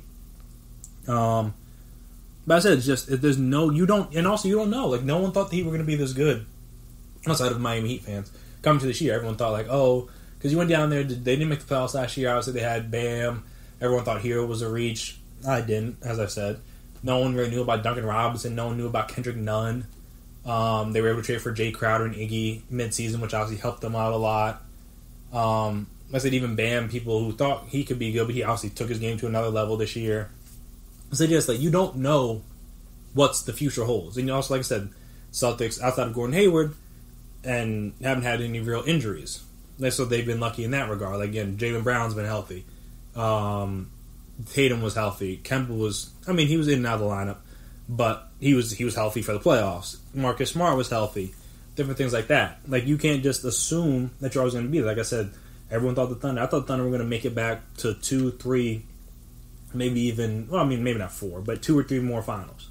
They never made it back. They never made it past the Western Conference Finals again. And like I said, the Celtics haven't even gotten that far yet. They haven't got to the finals yet. They still got to get there. Like I said, we're talking about like, oh, they'll be good for the next five, ten years, whatever. It's not that simple. It's really not. And As in mind you, this was the same team, same franchise where people were talking about, oh, would you rather take any player or Brad Stevens? And obviously that was a lie because um, you would not take Brad Stevens over LeBron. You would not take him over Anthony Davis. You would not take him over Kevin Durant. Maybe probably not even Kawhi. Like again, there's a lot of players. Steph, you're not like come on. That was a foolish question when they asked it. And it's even more foolish now because he's been consistently out coached in the playoffs outside of against the Sixers, where he did that first like wall defense that that um, they've used against Ben Simmons, and now teams have adapted to use against Giannis for similar reasons. Um, but yeah, I mean, like he's been outcoached in the playoffs multiple times. Like, again, the team had issues even later in later in that game with the zone, and again, eh, the the Heat were playing good defense with their zone. They were switching, everybody was moving, everybody knew where they needed to go, but it's still it's nothing new. Like you you had seen the zone in the last series against the Raptors, and you saw the zone again in this series with the Heat, and they still couldn't consistently beat it when they have good players, good shooters, good um, ISO players. Like you should be able to beat a zone. You would think at a professional level, but hey, it is what it is. But yeah, so I'm just saying the Celtics fans, don't just assume they'll be back. It's easy to say that like, oh, they'll be back, they'll be fine. But also, I mean, like it's just not that simple. And also, in this series, like you got to figure out what, what are you going to do after August and off season. What are you going to do with Gordon Hayward? Because again, he's good for you when he's healthy. He's not the player as he was before the ankle injury. That's that much is clear. And like I said, he's good when he's healthy. But he has injury issues. Like that's a fair argument against him. Kemba, he was bad. Oh, well, not I don't want to say bad. He wasn't like terrible, but he wasn't who you you paid max money to in the playoffs. Like that's not who you. No, that's not who you thought you were getting. You thought you were getting a better version of that, and he was like inconsistent in the playoffs, kind of thing. Um, Jayson Tatum's going to be up for an extension, I believe. And obviously, he's the guy they're going to build around, try to figure out what they can do with him. But like I said, you, in order to get back to finals, um, you're going to need more, and you need more consistency from him. Like I said, he had the one game in Game Four where he didn't score until the second half. That can't happen for your best player. You had a game today where he didn't score in the first quarter. That can't happen with your best player he was nine twenty six in this game. Like that that that can't ha- like your best players need to play their best, like to play their best consistently in the playoffs, and if they don't, you're probably going to lose. So I said he's going to need to get more consistent. Again, he's a young guy, he's only what twenty two years old, just turned twenty two in March. So like I said they'll be fine in general, but I believe what this is his this is his third season, so he's eligible for the extension. I believe. Yeah, he should be eligible for the extension. So he's going to get paid this summer. Jaylen Brown's already got his money if I remember correctly. So it's not like this team is going to get any cheaper. And like I said, that's going to make it difficult to build a team around him. Like I, just, like I said, then they got like one year left on Gordon Hayward's deal, with assuming he opt in. Which I mean, why would he not opt in? Um, they give like again, they gave Jaylen Brown the four-year, hundred fifteen million dollar extension. They gave Kemba a big extension. No, well, they signed him to a big deal or whatever the sign and trade thing, however that worked out. But you get the point. Like I said, it's not going to be as simple. They need to get Need to get a better bench. Like I said, Gordon Hayward is fine off the bench, and like that's good. But like they need to get someone else. Like whether again, I don't know if this um, hoping for improvement from Wanamaker, reporting hoping for improvement from the two Williams guys, Robert Williams or Grant Williams. Um, I said I don't know what you do with Theis. I don't know what you do with Kanter. Like I said, you need probably a better backup big in the playoffs. Like I said, Kanter is unplayable in certain series. And like I said, I don't know if you're going to replace him with Williams or whoever. But you got to you got to beef up the bench. And also, to get a little bit more size. Like I said, I understand like them wanting to go small, but as we saw in the in the Rockets Lakers series, if they have a big like Anthony Davis or like a Bam or that that can go small and still then then them not be that small, then that that negates you being able to go small I said, obviously the Celtics try to go small, like whether it's Grant Williams in or Gordon Hayward in with their their four main guys. Like, all right, you can go small, but like again, if Bam is still in there being able to protect the paint, what does it matter? Or he's you're going to be able to guard, not like again exclusively, but guard a Tatum or a Brown or Gordon Hayward on the wing, or a Kemba. Like it, what's like what's the point of going small? Like, again, you lose your advantage. So like I said, they probably need to get someone else big because again, the issue with Theis is that he just couldn't stay on the floor. He was always in foul trouble. And again, some of them was ticky tack and different things. Maybe hasn't warranted the reputation to get some of those calls. But like I said, you're gonna need somebody that can stand in there and, and be able to handle handle that, like you saw um, with the with the Lakers. I mean, actually, no, we'll touch on that in a second, so we'll talk about that. Um, but yeah, you're you're gonna need more someone else. Like I said, Theis is a solid, fine center. I don't know if like, but you need somebody else with some size when it comes to the playoffs.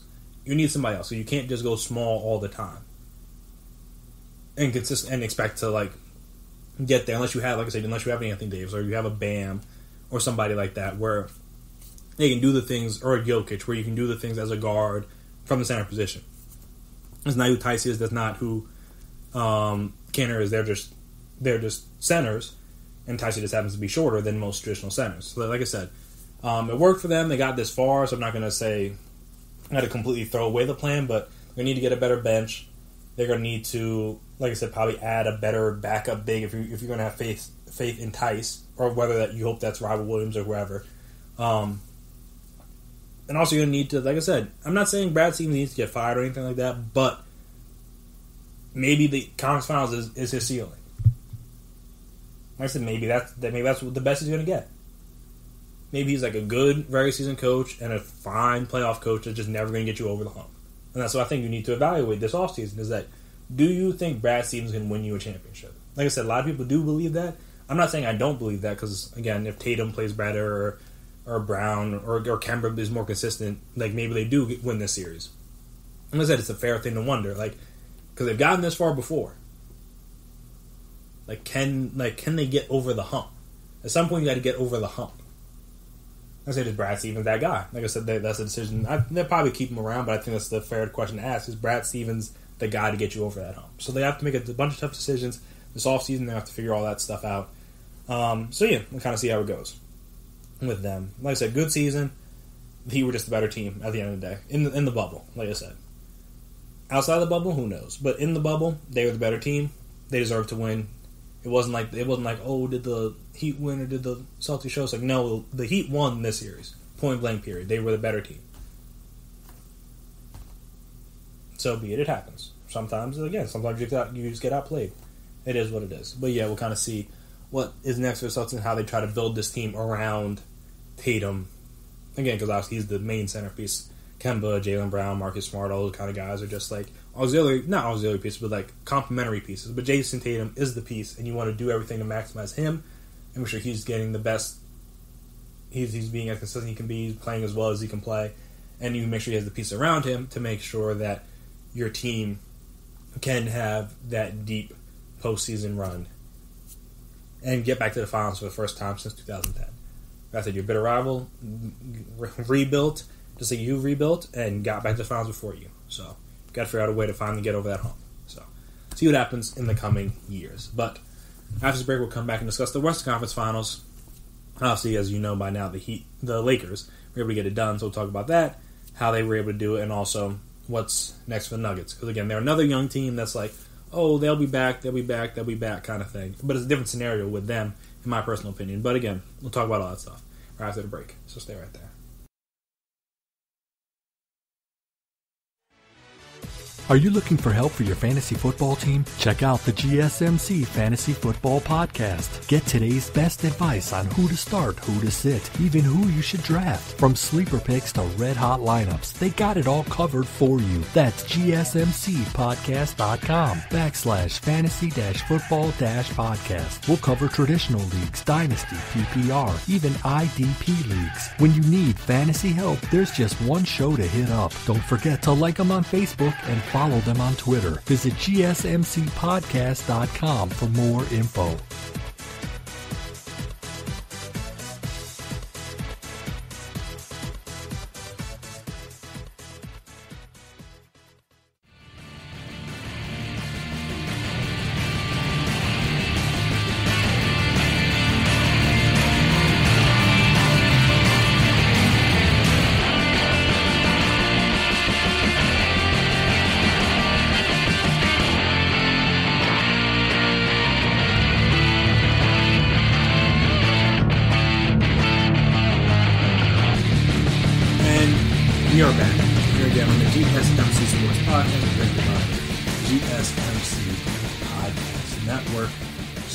Saw on Saturday night, the Lakers were able to finish out the Nuggets 117 107, get their first trip to the finals since, like I said, 2010, um, in their first year back in the playoffs in like seven years. Um, this is now the 10th time LeBron's been to the finals. Quite impressive in his 17 year career. He's made the finals more times than he's missed. Um, so, again, that's impressive. Um, he's made it nine of the last 10 years. Because, again, he went like, yeah, it was the eight in a row. And then obviously he didn't make it last year because of the injury, and I, I, that team wasn't good enough to make the finals. I don't think. But again, I the the 2018 team should not have made the finals either. If, it, if they didn't have LeBron, they literally um, they wouldn't have even made the playoffs. But they had LeBron, and that's all that matters. Obviously, this year is a little bit different. They this this team had Anthony Davis. Like you could argue, he was their best player, and he is their best player on some nights. Um, but in this game, when they needed him to, LeBron was that guy like I said, LeBron is still even in year 17 at 35 years old. Every once like he can summon that best player in in the world ability. Like I said, sometimes does Anthony Davis have his nights. Some days he has his own, but in this game he had 38 points, 16 rebounds, 10 assists, 15 and 25 shooting. Um, and this was great in every aspect of the game. Plus, obviously, his defense against Jamal Murray in Game Four was a part of the reason why they were able to get that that W in that game. So, like I said, he was just great all around. So yeah, he had a great game. Anthony Davis again, still doing Anthony Davis things. Twenty five, seven, not seven. Excuse me, five. I don't know why I got seven from. Um, twenty seven and five, three assists, two steals. Still doing typical Anthony Davis things. So that was nice for him. They were also able to get some contributions from Danny Green, he had 11 points, the only other player in double figures, but they're going to need him in the. Well, take it back, Caruso was in double figures as well, he had 11. But they're going to need him in the finals. Because again, he's a guy that's experienced, he's been there before, has a championship experience just last year, and obviously has previous experience with the Spurs. But again, when he's hitting shots, their offense is more open. Because they're, they're not a great three point shooting team. Obviously, they were 9 of 24 in this game, which is 37%. But again, they're not they're not going to be the Heat. The Heat darn near shot like 50% from three or something like that in this game. Uh, let me let me double check. They shot 48%, 13 to 27. So again, and shot 56% from the field. So I mean, they were just great all around. But I said that's not them. Their their team is gonna beat you with defense, beat you with like like sound, like like sound fundamentals. Like again, they're not really gonna they're not going to mess up rotations. They're not really to screw up on switches, things like that. I mean, everybody messes up. Everybody misses assignments, different things like that. But they're going to usually be very, very locked in into and not going to make too many mental mistakes, things of that nature. And then, like I said, they're also going to play tough defense, which again the Heat do as well. But again, they don't have the three point volume that the the Lakers don't that the Heat have. So they're gonna have, they have to win in other ways, and then also they they also happen to have two of the five best players in the world on their team, which at the end of the day does help you a lot, especially when you get into the playoffs. Um, like I said, sometimes it's just all that matters is just having the best player. Honestly, it didn't matter in the Celtics series because you could argue that the Celtics had the best player in Jayson Tatum. I mean, you could argue, um, you, you you would argue probably like three of the five best players. You would argue on a given night were on the Celtics. But again, when your others are so much better than their others, that's that's what matters. So again, this will be obviously I expect like LeBron to outplay Jimmy Butler. As you know, like I said, I won't get into that. We'll talk about that in the preview. But yeah, in this game, they played great. The Nuggets, I think, on their end, they just ran out of gas at the end of the day. I mean, they've been playing. I think it was like uh, J- Jamal Murray was like number one in minutes by like a lot. Um, I think Jokic was like two or three. So they they'd played a lot. They'd played game sevens in both previous series. And then again, this isn't like a normal. Obviously, there's less travel, so you're not tired in that aspect. But like you're playing every other night, it takes a lot of energy, especially with Jamal. He's gonna have to. He was having to score in the first round, had to score 40, 50 points. Did it in the last series as well. So he's like that's that. He's he's exerting a lot of energy um, on the offensive end. And like I said, while playing a lot of minutes, playing playing in the 40s every night even in this game, he played 43 minutes. Again, he's then have it going offensive, offensively as much as you would like. Seven to seventeen, hit no threes, had nineteen and eight, but also had five turnovers, so that hurt. Jokic was once again in foul trouble, and that's what he's going to need to work on, which we'll talk about in a second. Um, he struggled with with the size of the Lakers, with the white, the like, um, and again, it's not like he was like, it's not like he was like getting in foul trouble because of that, but like he was just letting it affect him, and then now he's he's making bad fouls on the other end, on the defensive end, when he doesn't have to. And like I said, that's hurting the team because now he's on the bench for extended periods of time. He hadn't played Mason Plumlee a lot of minutes.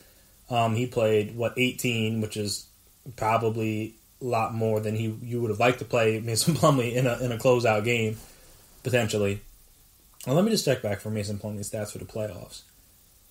Yeah, for the postseason, up he was averaging like 11 minutes per game, and in the last two games, he had to play 14 and 18, and obviously he played 21 in in the game one, but um, that was probably partly probably because um, the the that game they lost by 12, so it wasn't really that close there at the end.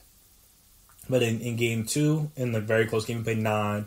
And in game three, the game that they won, he played five. So again, he's not a guy that you want to have out there if you don't have to have him out there. Other than like a quick spell for Jokic. But again, with Jokic and foul trouble, he had to play more extended minutes. Also, he wasn't the only one. I thought Paul Millsap was in a little bit of foul trouble. At least in the first half. I could be wrong about that. Maybe that was game four, I'm thinking of. Um, but yeah, just like he had, but Jokic needs to, that's something he's going to need to work on. Had a good game relatively speaking, 20 points, 7 rebounds, 5 assists, 3 steals. So again, not a Jokic game, but a solid game all around. Jerami Grant still did the best he could, had another 20 point outing. But on 7 of 18, uh, 2 of 8 from 3, he's never. He's not that he's a bad player or a bad offensive player by any stretch, but he never should be the guy leading your team in field goal attempts. Unless, like, again, guys are out. That's just not where the offense is. He's not that kind of shooter, he's not that kind of scorer. Like I said, obviously he had 20 points, but on 18 shots, it's not really he's not the most efficient player, and plus, like I said, only hit two of his eight threes. So, um, and then plus he's, he's having a lot of. He's guarding LeBron, he's guarding AD. Um, so again, he's doing his part, doing what he can. But again, that's him needing him to score 20 points a night for you to win a game is not really what you want, especially like I said when you're he's playing having to play tough defense on the other end on two of the best players in the world. Um, but yeah, the Lakers, like I said, were able to just get it done behind an excellent performance from LeBron and AD, which again is what they've been doing for most of the playoffs. Obviously, you sprinkled in good players from from like the good good games from like Caruso or Rondo or Morris or Green or or whoever. Like I said, they, they everybody else did their part, but at the end of the day, Anthony Davis and LeBron are the reason why they were able to get through the Western Conference Western Conference playoffs in 15 games. Like again, no series went past five well, the first two series they they lost the first one and then won four straight. This one they let. I mean, I'm say they let, but they were able to win game three and then win the first two and the last two. Though again, if they lose game two, I think this series does go a little bit differently. Obviously, because they would have lost game two. But um, like I said, I don't know if that series goes five because that like I still think the Nuggets could have had two, and I think that was that was their two. Like I said, when you're the worst team, you need to win the game you're supposed to win and that was the game they were they should have won. And like I said, they could have won if they just played better defense on the Anthony Davis shot. But once you saw him that open, you knew it was going in. Um, so that was a tough one to lose. And obviously they were able to bounce back in Game Three. But again, you knew you knew Jamal Murray, Jokic, they were going to have a good offensive performance one of the games. So you knew they were going to get them. That was going to get them one. They needed to sneak another one at least to make it go six. And Game Two was their shot. Unfortunately, weren't able to get it. Um, but yeah, you know it happens. But um, but yeah, so like I said, we'll talk about more about the Lakers and their and their series against the Heat on the next episode as we preview the finals. But from a Nuggets perspective, they're like I said, they're in the same situation as the Celtics. They're the guys a little bit older, but similar situation where it's like, oh, they're young, they are young, they'll be back. And I get that sentiment, and I don't disagree necessarily. Like they were the two seed last year, they were the three seed this year. They've been a very solid team the last few years. Made it one round further every year, if I believe, uh, if I remember correctly. Like I said, they made the conference finals last year. They made the semifinals last. Um, no, made conference finals this year. Excuse me.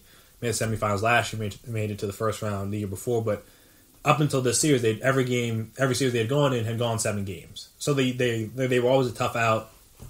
They were always a team that like was going to give it their all. Was was going to make adjustments. Going to do things. I wasn't just going to lie down. And again, even in this series, they didn't lie down. I think just ran out of gas. Because again, you're playing all these games for a short amount of time.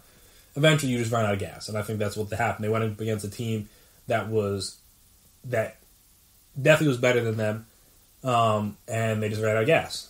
And like I said, they weren't playing a Clippers team that's going to let their foot off the gas or kind of just wilt under any sort of comeback attempt. Like the Lakers aren't that. The, they were able to make comeback attempts on the Lakers, and the Lakers would go on runs of their own to kind of to kind of counteract that. And again, the Jazz, the Jazz got up because of great performance from Donovan Mitchell, which he still had throughout the series. But um, the I, I would argue the Nuggets were better than them without Bogdan, without Bogdanovich. I, the Nuggets are a better team. So I wouldn't I wouldn't surprise. I thought they were going to win that series more easily.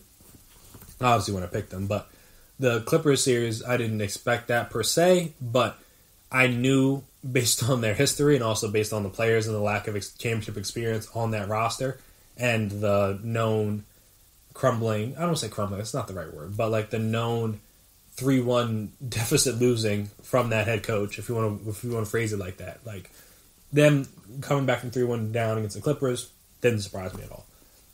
I mean, there's always going to be an uphill battle against the Lakers. They were they were definitely better. The Lakers have been better than just about everybody in the West. That's why they were number one seed. That's why none of their series have went past five games. Like they've been the best team in the in the playoffs, probably them and them and the Heat, which is which is why it's makes it makes sense and why it's fair that they are the two teams that make it to the finals because they've been. It's not like it's not like the Heat got lucky. It's not like the it's not like the Lakers got lucky. They, they they they snuck by a team or like they had a lucky bounce or lucky break or like an injury or something. Like no, these have been the two best teams in the playoffs on their respective in their respective conferences. So it's only right that they it is only right that they get to play for the championship, in my own personal opinion. Um, but yeah, so from Nuggets perspective, like I said, they're in this scenario where it's like they're a young team, they'll be back, and I get that point. But I don't think the Lakers are going to be that much worse next year. Obviously, I figure out what they're going to do with like Kuzma and some of the other older guys on their roster, but like I don't expect a massive drop off from LeBron. Plus, I, I expect with maybe the championship pressure, if you want to call it that, taken off his shoulders from Anthony Davis in his first year, he probably will ascend to the best player on that team consistently night in and night out, and he'll probably have a good season. The Warriors are going to be back. Um, like I said, don't know how good they'll be, um, but like I said, Steph's going to be back, Clay's going to be back, they're going to have Draymond back. We'll see what they do with Wiggins and how they add in the first picker. Maybe they package them for somebody. Who knows what happens? Um, so they're not going anywhere. The the Clippers as as much as you want to hate on them, they're not going to be going anywhere. I don't think they're still to have Kawhi, still to have PG in their prime. Like that's they're going to be a solid team next year. Um, the Blazers, if they said they needed to, they need to, they need a little fine tuning with their bench, but again, if Melo comes back and they got Nurkic back and Collins back healthy and things like that, like they'll they'll be competitive team. Like they're not just going to go away. Um, I'm trying to think who else in the West. The Mavs, if they can make some additions, they'll be better and well, also I guess assuming KP will be healthy, but that's not you can't assume that. So again, the West is always tough. Like you can't just assume, as I said with the Thunder. Thunder made the finals. The next you know, they're trading James Harden. They're there, and then like I said, they had bad injury luck. The next year, they were the best team in the conference, had the one seed, best point differential, all that stuff. If I remember correctly, um, Pat Bev takes out Russ's knee. They lose in the second round to the Grizzlies. No, and again, that's a Grizzlies team they should have beaten, and they probably would have beaten with Russ. 2014, um, hurts his calf and is, and basically playing on like one leg throughout the conference finals when he does come back. I think he missed the first two games, and he came back for the two games in OKC, and was great. Um, but then, like I said, he just he just wasn't healthy. Uh, 2015, the whole team was hurt, and that was just a wash of a year. And they, they still only missed the playoffs because of Anthony Davis double clutch buzzer beater. That I mean, again, he easily could have missed that shot, and then they make the playoffs, and then who knows what happens that year. But again, I guess they would have played. if they would have got the eight seed. They probably would have. Well, they would have played the Warriors that year, I think, right? Were the Warriors the one seed that year, 2015? I believe so. Don't know exactly, but yeah, who knows what happens that year? And then 2016, we all know um, KD more or less had one foot out the door, and then they blew the three one lead. So, like I said, you can't just assume teams are going to be back because as we've seen, we see that in every sport. You're like, oh, the Cubs are going to be the next dynasty, blah blah blah. They haven't been back to the World Series since they won. Um, like I said, you the Yankees have been I guess they haven't they haven't been to a World Series in what like since whenever they last won one in like 09, I think it was something like that. Uh, the Dodgers they keep getting back, keep losing. Um, who else? The Astros. Well, they they cheated their way to a title, but again they got back to the playoffs other times. Did not win. They only won the one time. Like I said, winning winning championships in any sport is not simple. You can't assume oh because the team is young they'll be fine. Like dynasties in sports now, like the salary cap and the way things are positioned, are hard to come by. Plus, for Denver, and kind of the same thing with the Celtics, they don't attract major free agents. They don't. I said the LA teams do, the New York teams, well, mainly Brooklyn, um, do. Like I said, the Knicks have been a prime destination for years, but because of Dolan, no one goes there. Um, in Miami, obviously it's Miami, so they're aided by that. And they've been able to get lucky in that regard. They've gotten LeBron James in his prime, and then they got Jimmy Butler, and that's obviously helped. But you look at like the Sixers, they don't like Philly doesn't get that big of free agents. Um, the Clippers just really got their first f- big free agent. Um, the Lakers have struggled for years. They have free agents. Then LeBron goes there. Then obviously that changes the whole course of their situation. So again, the Denver Denver doesn't have that luck. They don't have the. They have to build it organically, like the Warriors. And again, the Warriors lucked out because a Steph was on the most team friendly contract in the league due to the fact that his ankles were all messed up um, early in his career, which again the the Nuggets won't have because they are they have Jamal Murray in a max deal. Jokic is getting paid good money, I believe. So again, they, it's not like they have that.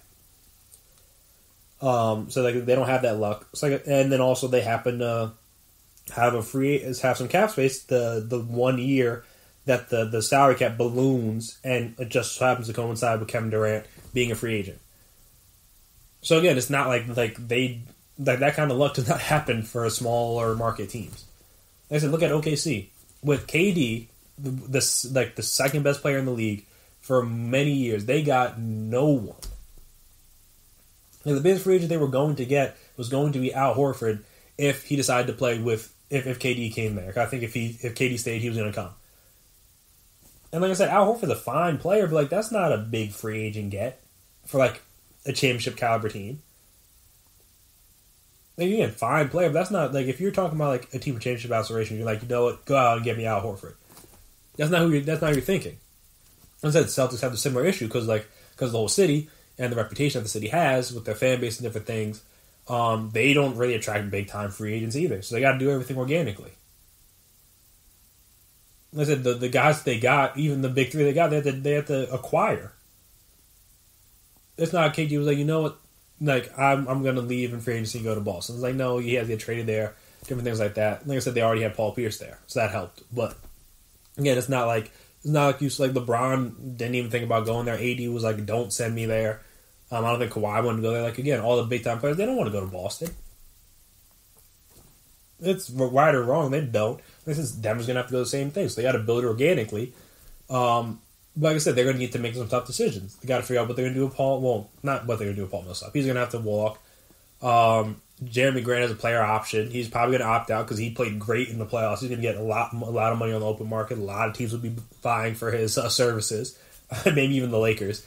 Um, funny enough, you saw LeBron out there. He was he was talking to him, but you know there was a little recruiting recruiting hint that that, that conversation had to me at least because especially as the AD walked over there at the end before the camera cut. It's like I said, he's going to have a lot of options on the open market, but you need him back. He's the one guy on your, on your team that can defend any big guy. Um, so you need to figure out that. You need to figure out what you do with Mike Porter Jr. Because again, with him in the lineup, with a, a, a, if they get him more involved in the offense, like their offensive ceiling will be superb. They could honestly have one of the best offenses in the league next year if they unlock his potential on the offense and like you utilize him more but their defense could be abysmal if he continues to play like he does. And again, he had he has moments where he's locked in and has moments where he plays great, but like that's the thing, they're few and far between. Like there's other times where he'll he'll fall asleep on the help side and won't reach um, react quickly enough to the drive, or he'll he'll, he'll fall asleep and like he'll get a back cut and someone will get behind him. Like, again, he has those lapses, but he's a young guy, hasn't played a whole lot of basketball since high school. Um, he played like the little bit at Missouri, like for like three games or whatever it was, and didn't play his whole rookie year and then obviously he's still kind of learning. So if that improves, all right. Like I said, you saw Jamal Murray. Jamal Murray was a, a liability on the defensive end in the beginning of his career, and obviously it's grown and he's gotten at least serviceable. He's not like a lockdown defender, but he's not terrible. He's not like they don't hunt him out anymore like that. So that's what you're hoping for Mike Porter Jr. But yeah, they got to figure out that. Like I said, they got to figure. Well, as they didn't have Will Barton, and so that hurt because he's a, he's another guy off their bench. Or if he would have started, who knows? They could have given them some buckets because he's like a 15 point per game scorer that they could have used that extra offense. Plus, he's a solid defender. He's not like again not lockdown, but he's not bad. I also got to figure out what to do with Gary Harris because I Gary Harris is not that good, in my personal opinion. Plus, he's hurt a lot. He's getting paid a lot of money, so I figure out what to do with him. Like, how are you going to handle that contract? because they gave him like a decent deal, a four year, eighty four million dollar extension, twenty seventeen. I think he has one year left. You should have one year left. Uh, no, he has two years left. Yikes. He had two years left, and like I said, he's getting paid nineteen and twenty million dollars, and I don't know if he's a twenty million dollar player. In my own personal opinion again, like he's a fine player, but again, you saw like he's just not his shooting. And again, obviously he's working himself back in and played most of the season. But again, like he's he's he's never played more than seventy six games in the season. He's kind of always a little bit banged up.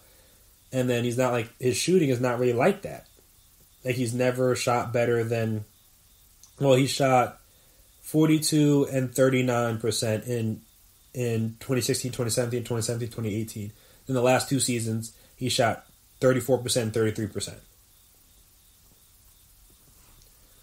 So like I said, they're going to need a little bit more offensively from him if he's going to be getting 20, $20 million a year. I mean, he plays solid defense, and that's nice, but again, um, you can't have guys out there that, like, again, when they were passing the ball to him or Grant on the wings when Jokic was getting doubled or Murray was getting doubled, you need guys that can knock down the threes those guys. I mean, Grant had his moments, but Gary Harris, that's not what he was doing out there. He was not doing. He was not knocking down shots. But I said Mike Porter Jr. out there, it's a different story. You can't maybe you can't double because if you get the ball, Mike Porter Jr. He can knock down those threes. He can he can drive. He can score. He can score in different ways. So that changes the whole offense. So like I said, they got they got tough decisions to make. Got to figure out what how they're going to be able to retain Jerami Grant because if they lose him, that'll be a big blow to that team, in my opinion. Because obviously, especially Mike Porter Jr. is not going to be a, a even a league average defender next year, most likely. You're going to need a, a, guy that can defend some of the the better wing players, the better big guys. And like I said, Michael Jr. isn't that. Jerami Grant can be that. Um, especially and also with Paul Millsap, he's he's he was good for them. Kind of brought a veteran presence, but I think they probably need to let him, you know, sit the bench if he's going to be back next year. And also, like I said, let let, let Michael Porter Jr. grow and flourish, in my personal opinion. But hey, we'll see what Mike Malone decides to do. Um, but yeah, like I said, when your team that doesn't get free agents, you're gonna have to try find ways organically. You're gonna have to find ways via trade to get guys like I said, guys like a Jerami Grant. Um, find guys like a Monte Morris to be helpful off your bench. Different things like that. You're gonna need those kind of guys. Um, maybe, hopefully, see what Bol Bol can do because Mason Plumlee is not. A, you need a better backup big too. That's the other thing. Like Mason Plumlee out there was useless. The way they want to run their offense, they run their offense with their center having a lot of responsibility at the top of the key with making passes and making the right decisions and things like that. And gonna need a big that can do that kind of thing. Maybe Bol can. Maybe you play Michael Jr. and some backup five next year. You're gonna have to figure some things out. But like I said, when Mason Plumlee just couldn't, they were double teaming uh, Murray on the pick and roll, and Mason Plumlee just couldn't make the decision that Jokic can do. No one, no, most bigs can't. But like I said, for that team, you need a big that can. And it wasn't Plumlee, so you need to get a better better backup big as well, in my opinion. You need to improve that. So, like I said, they got some decisions to make. Like I said, just the whole, as a fan that's seen it firsthand, this whole like, oh, they're young, they'll be back. Maybe, like that's where I'm at. Like maybe they will be, but like I said, don't just assume that. They're gonna need to improve, and like I said, the West isn't easy right now. Like it's gonna be tough. It's always gonna be difficult. This is not like other teams aren't trying to get better. Like the Pelicans will be better next year potentially if they have their guys healthy for a whole season. Maybe they make some additions. Like this is not just going to be like, oh yeah, the Nuggets were a three seed. They'll be back in the West Conference Finals next year. Look at the look at the Blazers. They were in the West Conference Finals last year. Didn't even make it out the first round. Got smoked by the Lakers. It's not that easy. It's not unless you have again. Jokic can be there, and I think Murray kind of ascended himself up a tier or two in the, in the rankings around the league. But again, unless you're going, unless you have one of like the elite elite players, assuming you'll be back and competing for a championship every year is a far fetched thing. Especially when you're a smaller market where you're not getting free agents, not getting those big big name players on a regular basis. You need to draft them, you need to grow them organically, um, or you need to get lucky, like you get what the Warriors did with Steph. And have him get hurt a lot, so he's on a team friendly deal, and you have the room to sign a Kevin Durant. So that by the time you give him the big two hundred million dollar extension, Kevin Durant's already under contract, so it doesn't even affect you because you just sign him with the bird rights. Um, so yeah, we'll see how it goes. Um, again, good year for the Nuggets. They did their thing. They they made it about as far as people thought they could. They gave the Lakers at least the competitive series. It wasn't like they just got it, went out there and got smoked. But I think I said at the end of the day, they just ran out of gas. And speaking of gas, MLB playoffs start this week. The brackets are set, the matchups are set. So we'll talk about all those, give my little predictions. Because again, baseball is so random, especially with the, these little three game series. Um, it's it's you're gonna like again, you're probably gonna see upsets. You're gonna see different things. Um, listen, like it's just that's just the nature of baseball. And like no one thought the Nationals were gonna win the World Series when they got to the playoffs last year. But hey, that's what happened. So like I said, I'll give my little prediction, and see how right I am as we go through. Um, right after the break. So stay right there.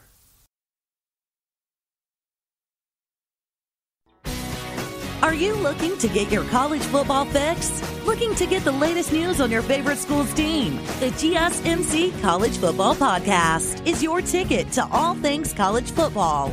Join us as we talk college football from the national championship, the college rivalries, the bowl game, to the Heisman Trophy. To which conference is the best? We've got you covered for the Big Ten, SEC, Big 12, the Pac 12. ACC, and everything in between. Download the GSMC College Football Podcast on iTunes, Stitcher, SoundCloud, Google Play, or anywhere you find podcasts. Just type GSMC in the search bar.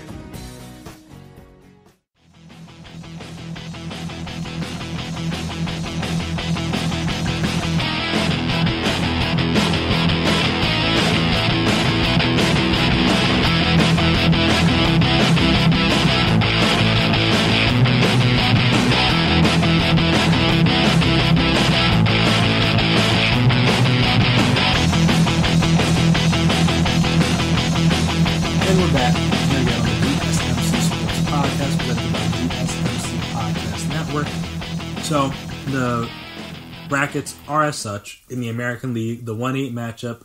Well, this is again the MLB playoffs. In case you didn't know, uh, the the one eight matchup is the Rays versus the Blue Jays. We got the A's versus the White Sox, Twins versus the Astros, and Indians versus Yankees. That'll be a good one.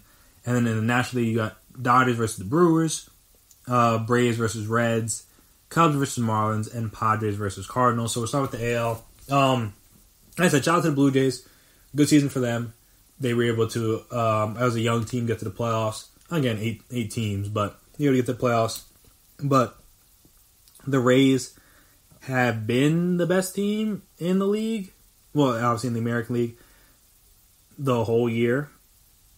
So it's hard for me to say that I should pick against them, given that.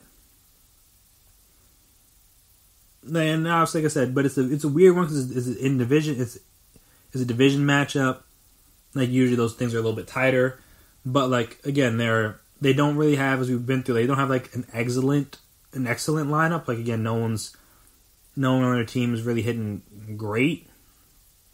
But from a pitching standpoint, they are quite good.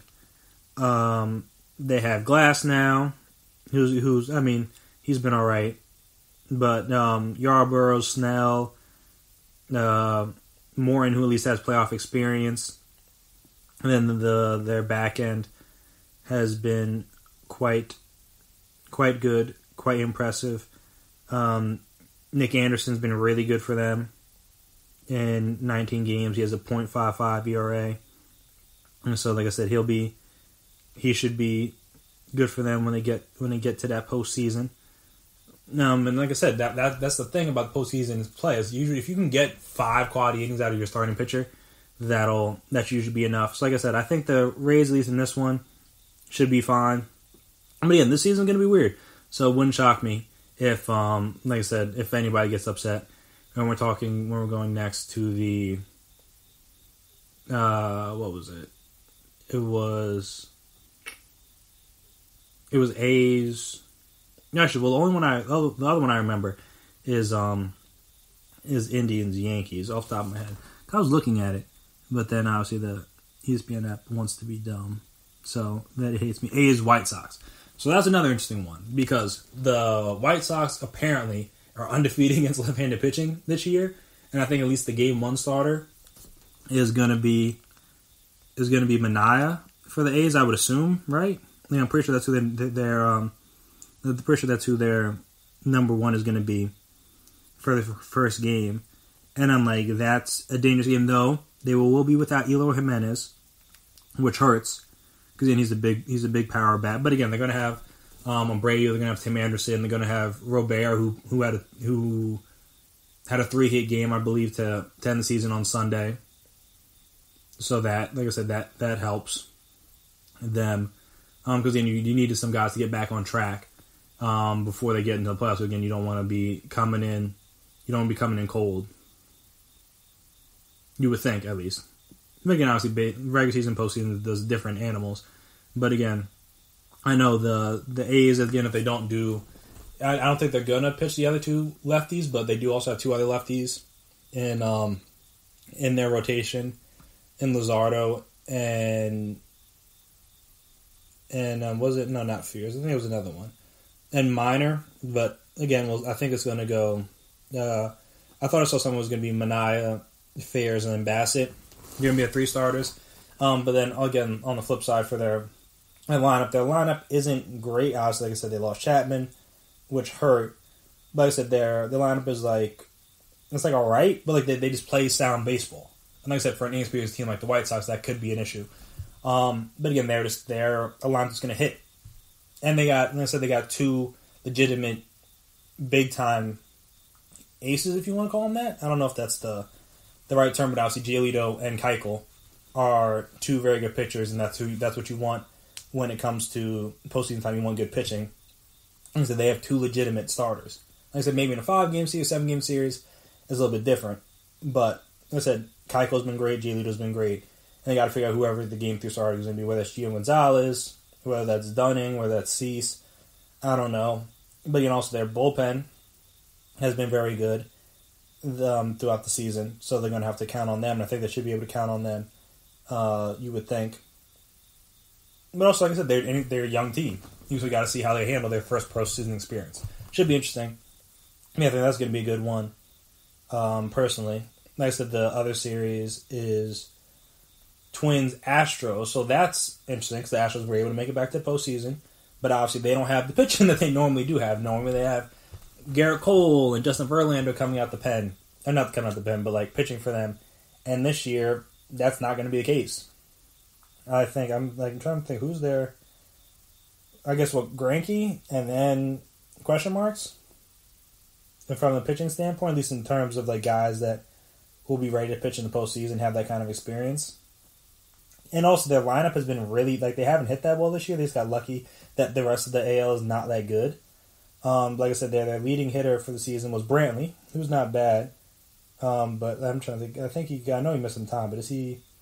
Okay, so no, I think he'll he'll, he'll be all right. But like I said, um, Correa hit like 260, Altuve hit 219, Spring hit 265, um, Bregman hit 242. Obviously, they'll be without Yordan Alvarez, which he he only played like two games before he got sit down for the season. So you have to figure out what to do there. And like, so they got Greinke, they got um, Valdez, they got McCullers. Um, so they gotta got they gotta have to figure some things out from that perspective because again, their starting pitching used to be the strength of their team, along with their hitting, but now it's a, more of a question mark in terms of postseason experience. So that's going to be tough for them. I say going against a Twins lineup who, at the very least, you know they're going to hit. At the very least, you know they're going to be able to hit the baseball. And like I said, with suspect pitching, that that could very well be an issue for them. Obviously, Nelson Cruz was was great for them this year as like a forty year old, but again, you had other guys. You had um, Miguel Sano. Well, no, no, he had two hundred, but he had thirteen home runs. He's a big bat. Um, Rosario had thirteen home runs. Uh, didn't have 13 home runs at 250. So again, they're not they're not the greatest hitting team, and also they're not the greatest pitching team either. These throw another starting pitcher. Well, no, Maeda's been very good for them this year. He's 270, 270 ERA. But rest of their pitchers are like, yeah. And the Berrios has been like all right. Um, Rich Hill's been all right. Uh, who else? Dobnak has been all right. There's like I guess he's probably like a relief if they do like their little bullpen situation. And so they're gonna need to hit. Like this is gonna come down to which team can hit because like the pitching is gonna be a little shaky in my personal opinion from what I can see, but it's gonna be coming down to who can hit. And I just I have more faith in the Twins right now than I do in the Astros. And then the Indians, Yankees. That's gonna be a very interesting one because the one year the Yankees have a clear, bona fide, legitimate game one pitcher. Absolutely, they have to face the AL Cy Young winner and the best pitcher in the league this year in Shane Bieber in game one. And also, like, and like a team like that, uh, the the the Indians, like they can hit the ball. Like that's not like that's not an issue for for them in the grand scheme of things. But also, like Gerrit Cole does give up some home runs, and they're a team that can hit some home runs. Like Jose Ramirez has 17 on the year. You got um, you got uh, guys like Lindor who have playoff experience. He's not going to be bad. Um, Cesar Hernandez is hitting like 280 this year. Franmil Reyes is hitting like 275. And plus, like again, they got they got they got a good manager. They got Terry Francona. Like you know, they're not gonna, you know, they're probably not gonna beat themselves in the playoffs. And again, this isn't the same Indians team from like a few years ago. They had like when they got to the World Series and stuff. But again, it's not a bad team at all. Like I said, now outside of but they got Carrasco, who's probably gonna be there. I imagine he'd be that game too. He's been very good this year. Um, so like I said, there's a chance that the Yankees, if they if their bats go cold, because obviously they had the the the they they had LeMahieu the, when the when the batting title, and Luke Voit led the league in home runs. So like again, they can hit. You know they're going to be able to hit, but just like will they be able to hit in the playoffs? That's always been their issue. Is That like their bats can go cold when you when you have a team with so much power and so much pop, and that's worried about like obviously LeMahieu is worried about getting hitting for average and things like that. But like a lot of the guys are worried about hitting home runs. That's their thing. That's what they do. That's what the Yankees do. So, like I'm saying, when you have that in the playoffs, it can be an issue, especially when you face good pitchers. Now, um, and I said um, Bieber, he's been with the Indians for a few years now, but again, he's never been this good heading into the playoffs. So you have to see what kind of pressure that puts on him potentially. And obviously, he's going to be facing the Yankees. That's going to be a big difference. Um, but yeah, we'll see how he does. Like I said, Carrasco. Um, you, you got some other guys. I know Plesac's been good for them. Um, I don't know if well, I wonder if he'll, I think he'll be back. Yeah, no, yeah, it should be. I don't like I said, I don't know what the rotation is going to look like, but again, he should be able to pitch for them. He's been, like I said, he has a two point two eight ERA. So again, they they've good starting pitching. They've had good starting pitching this year, and if they can do that, especially against a team like the Yankees, and keep their bats quiet, when obviously the Yankees have Tanaka and Cole, but like again, Cole's not like uh, hasn't been the number one ace that he had been in years past, where he was basically like unhittable heading to the playoffs last year. Like that's not what he's been. And again, like again, um, it is what it is. Like he's not like he's been bad or anything like that, but that's just not where he's been at. Um, so we'll just have to see. Like can can the pitching um, stand up? That's, that's what I said. That's been their issue in the playoffs for years past. They've always been able to hit. They've never had. It's never been their problem. But it's like, are you gonna have to like if you're, if you're batting, you're gonna have to bat Gary Sanchez and if Gary Sanchez is gonna have to be in the lineup, he's in 150. Aaron Hicks is gonna have to be in the lineup. He's in 225. Uh, even like Labor when he's been healthy, he hasn't hit that great. Um, like I said, like even like Judge once, like once he started playing more, he hasn't been like he hasn't hit that great. Like, like you're gonna you're gonna have guys come back or have guys be playing, and you know, outside of the May, you you you don't know if they're gonna be up there and not be guaranteed outs like I said, there's been different points in the playoffs for Sanchez and Judge and different state and different guys like that have been guaranteed outs almost against good pitchers. So you have to figure that out, see what happens there. So that's gonna be a tough one because I know the one year that they actually do have some good starting pitching, two legitimate starters for the playoffs. Just so happens that they're facing a team that also does have two, maybe even three good starters, and one of them again being the Cy Young winner. So that's gonna hurt. Um, so on the NL side, I mean, I'm still gonna go with the Yankees. I trust their bats a little bit more personally, because again, if they're hot, they'll be fine. But if again, if they go cold, um, it could be a short postseason for the Yankees. NL side, Dodgers, Brewers. I mean, the Dodgers should should put that away pretty easily. You would think. Um, also, especially since like Corbin Burnes, I'm pretty sure he's gonna be out for the for the playoffs because he got hurt. So that's that that's gonna be a big um, deal for the Brewers. He was their best pitcher this year. So obviously that that's a big blow. That hurts a lot for them. Especially like I said, when they're they're already going to be an uphill battle just to even um, get they just even just even beat the beat the Dodgers outright, and now said you're going into it without one of your best pitchers. That's going to hurt. Um, so essentially, was there. Second, the second, the two seven is Braves Reds. So that's an interesting one because again, the Braves do have one really good pitcher in Max Fried. Is that going to be enough? I don't know, and that that's kind of where the issues come in. Is like, will that be enough to to keep them to keep them alive in the series? Obviously, the bat's going to be fine. The bat should be able to hit. That's cool. But again, then like they're going to face Trevor Bauer. He might be the Cy Young winner. Like who knows? Um, he's been very good this year. And like I said, like who can you trust in the bull in the in the rotation outside of Fried? And I said that's where you're gonna run into issues with the Braves if you're the Braves, and that's where you, that's where I would be afraid if I'm a Braves fan. Is that like who are we gonna trust with that game two start or that game three start? And will they be worth trusting? I don't know, and that's kind of been the issue. But again, we'll kind of see how that goes. Um, but yeah, it's just one of those things where like hitting wise, they're the I mean they they were second best team in the league in in um, batting average. They were second in home runs. Um, so like I said, they were they were first in runs batted in. Like so they're they're they're first in hits. So like their offense is going to be fine. It's pitching. Like I said, it's pitching where they're going to be the issue. And so I said we'll see how it plays out. But again, they were 15th in the league in ERA as a team. Where, like I said, the Indians were second. That's why I'm a little scared for the Yankees. Um, even the Twins, even the Twins were fourth. So I don't know. I'll see how that one plays out. But yeah, like I said, that, that's what that's what you're afraid of is like, can the bats carry the the, the pitching? And like I said, when you're facing the Reds team, that like they're they're not a bad pitching team, not a bad pitching team at all. Um, so that's like I said, that's what that's what's gonna matter. That's what's gonna that's where it's gonna come in here. Is like, can they do that? Like, can they can they withstand that? Like, again, they were seventh in the ERA as a team. The Reds were. So like I said, they get good pitching, especially they get good pitching from Bauer, and they get they get a good start from whoever else. They get a good start from Bauer, get a good start from Castillo or Sonny Gray or whoever. They the pitching games two and three, and like I said, you get enough hitting because their lineup isn't that good. But again, if you if you're facing bad pitching, that that's I mean, that, that helps out a bad lineup quite a bit. So like I said, I'm still going to go with the Braves, but like I said, this this is a that could be a shaky one potentially. Um, three six Cubs Marlins. I mean, you want to pick the Cubs because I mean, but like I just think it'd be a cool story if the Marlins at, at least won a playoff series that they got after they got in.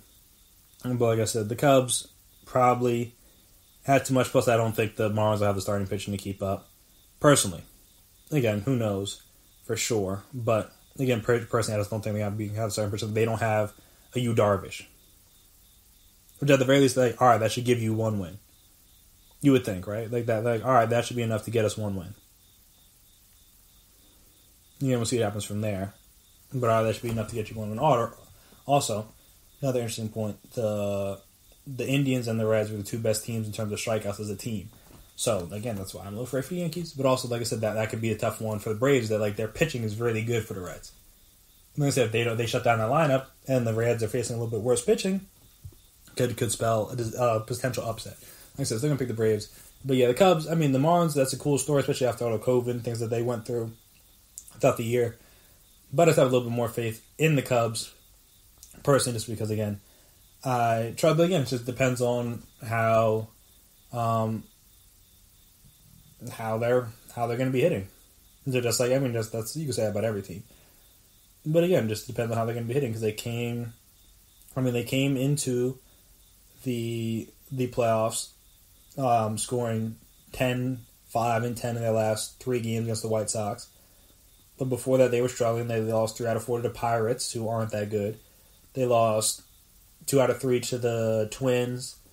They so it's like they weren't playing that well heading into the playoffs. But again, um, with the Marlins, it's just one of those things where like it's a cool story, but like, will it be enough? I don't know. We'll find out on Wednesday.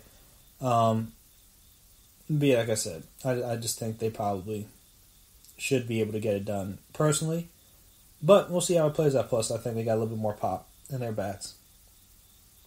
But the, I mean, the Marlins have been playing well recently. They've won three out of the last five, while the like I said, the Cubs have lost three out of the last five. But the offense will looked better. So see how that plays out. And then four or five, the Padres are playing the Cardinals.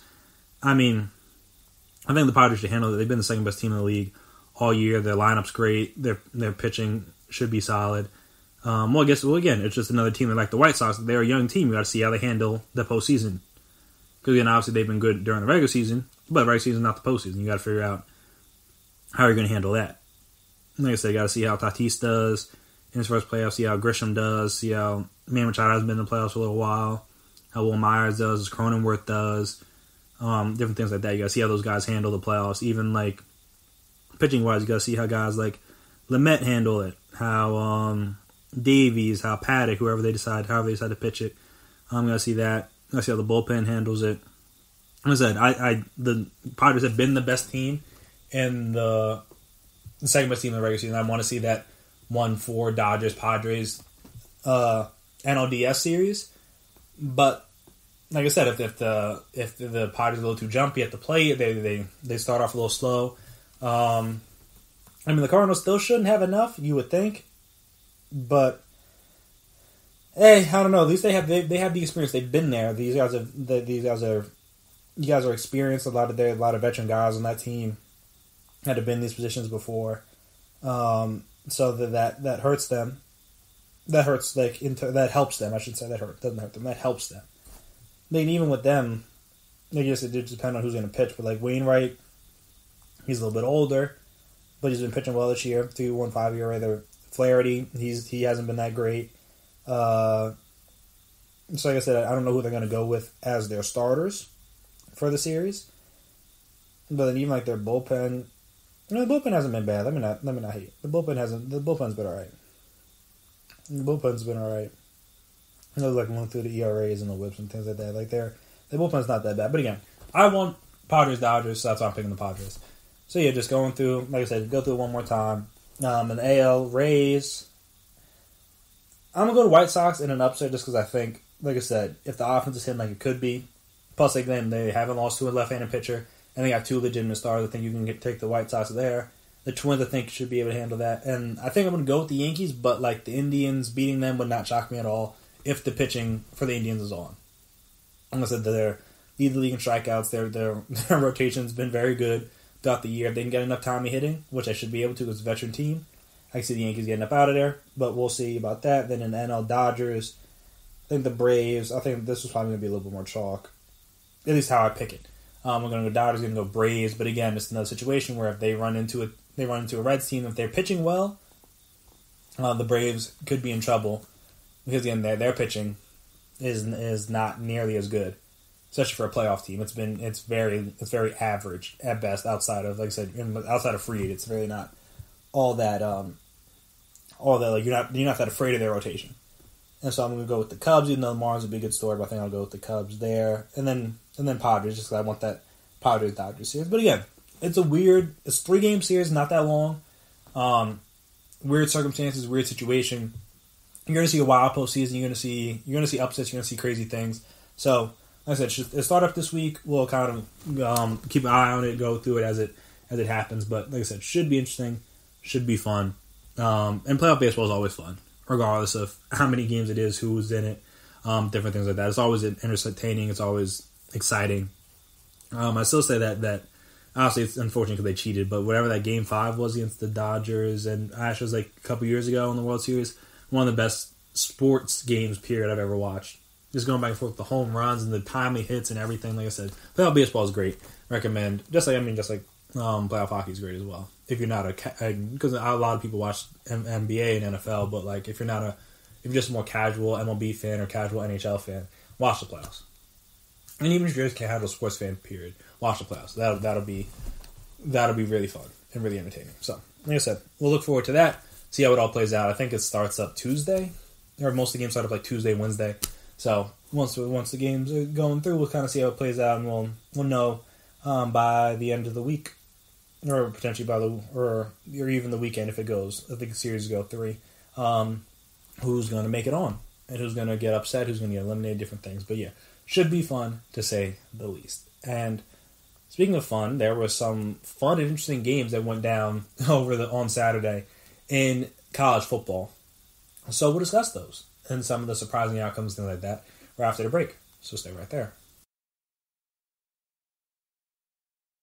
Check out the show built around the women of MMA from the UFC, Invicta FC, Bellator, and one championship. We got the fights covered. It's the Golden State Media Concepts Women's MMA Podcast. The latest news of upcoming fights, discussions of previous matches. Join us as we talk to and about the biggest names in women's mixed martial arts, past, present, and future. When it's the women's fight game, you know where to listen to the Golden State Media Concepts Women's MMA Podcast.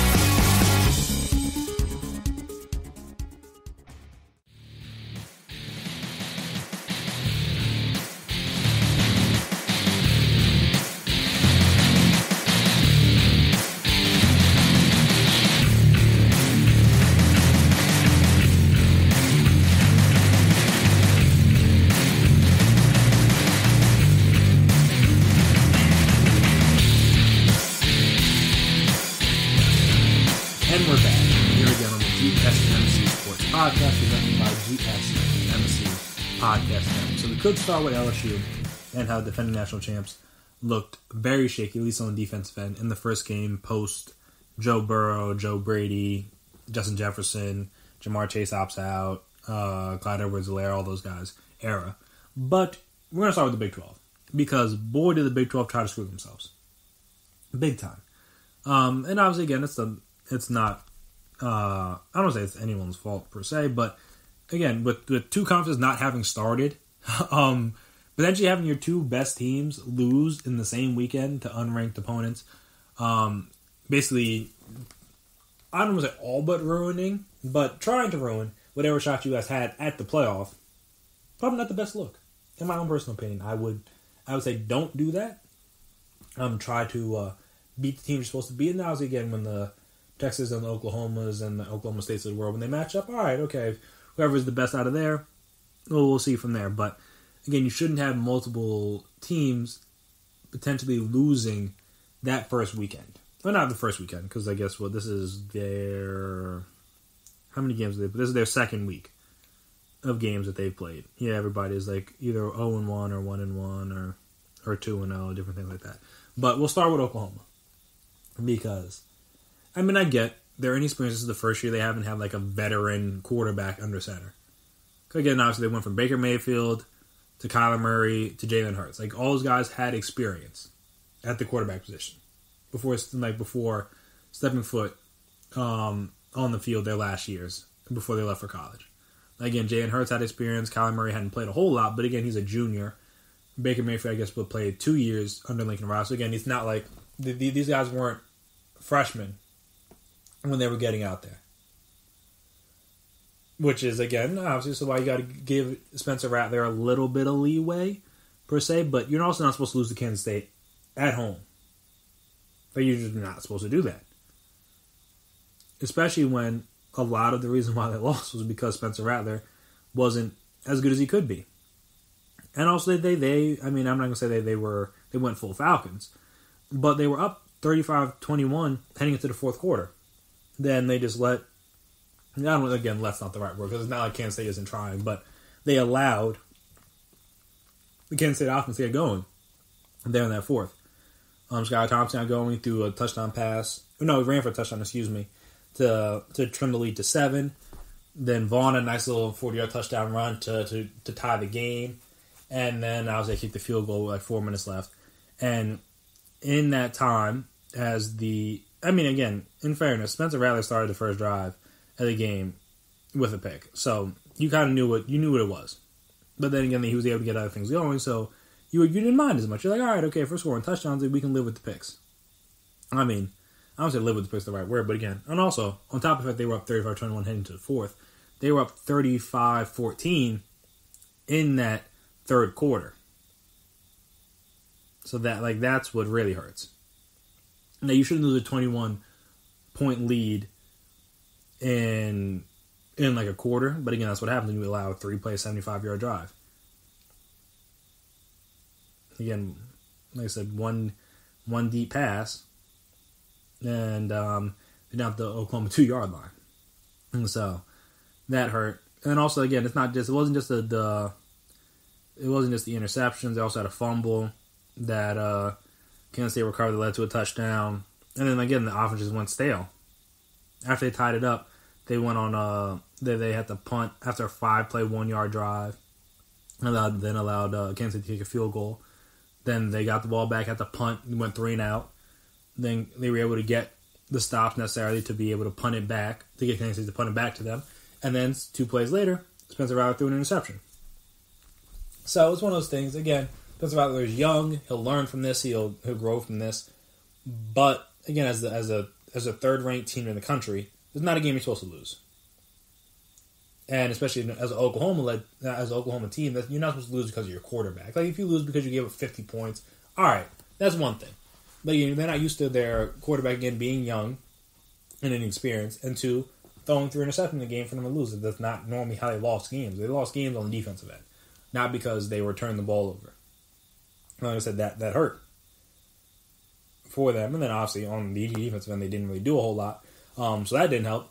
But again, Spencer Rattler, he'll learn and he'll grow from this. You would think. This is definitely a tough a tough pill to swallow for a loss. Again, second game of the season, and you already have your first loss in, in a game, and you haven't played Texas, haven't played Oklahoma State, haven't played like Texas Tech, you haven't played TCU. Like you know, there, there are there are potentially better teams, especially when Kansas State lost to Arkansas State the week before. That, that like in theory, that's not supposed to be a team you, you lose to, but here we are. So that, like I said, that one hurts for for Oklahoma. That one hurts. So now they got to get right next week against Iowa State. Now it's not a bad team. Then they play Texas in two weeks. So yeah, kind of can't afford another loss if they want to have a shot at the big at the playoff again. If I don't know if they'll that'll be them, but again, if you want to have a shot at the playoff, you can't lose games you're supposed to win. You can't lose games you're supposed to win, especially again as a non-SEC team. Because again, the Big Twelve and the Pac-12 and the Big Ten, maybe even like maybe, like maybe as a Pac a Big Twelve team, depending on who you are. Like if you're Ohio State, like maybe you get the benefit of the doubt. Georgia, Alabama, those kind of schools maybe get the benefit of the doubt.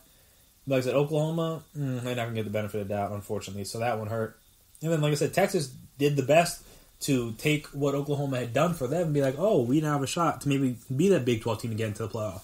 And they did everything they could to squander it. Um, they were in a, a literal shootout um, with with Texas Tech. Um, and had it not been for uh, for Bowman a lot earlier and a lot sooner. And that was the unfortunate part for Texas Tech is that they had I had so many opportunities to get to extend this lead so many opportunities.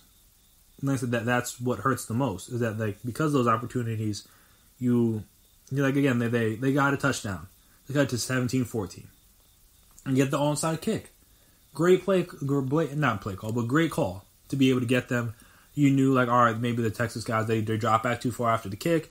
You, you have the little kicker do a little ten yard thing, wait for it to go ten yards, and then he picks it up. Next play, Bowman throws an interception. Very next play.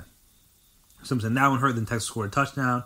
Now they're down 24 14, but then they're able to drive back down the field and score. Then they force a punt. Um, no, they're forced to punt, and then and then they blocked the punt. Yeah, that's what it was. They blocked, they they forced the Texas to punt after they cut it to three. Then they blocked the punt, so they got good field position at the Texas 17. Then two plays later, after uh, a loss of six, um, Bowman throws an interception that's returned 71 yards back to Texas Tech 19. And, and Texas Tech, I mean, Texas scores a touchdown four plays later.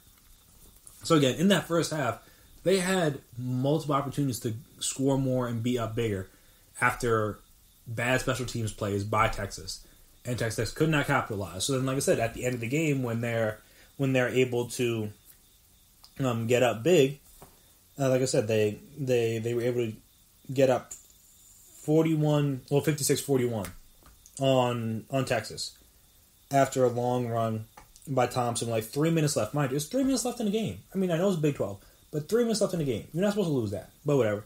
Um so they go up then they allow a four play touchdown drive in 34 seconds.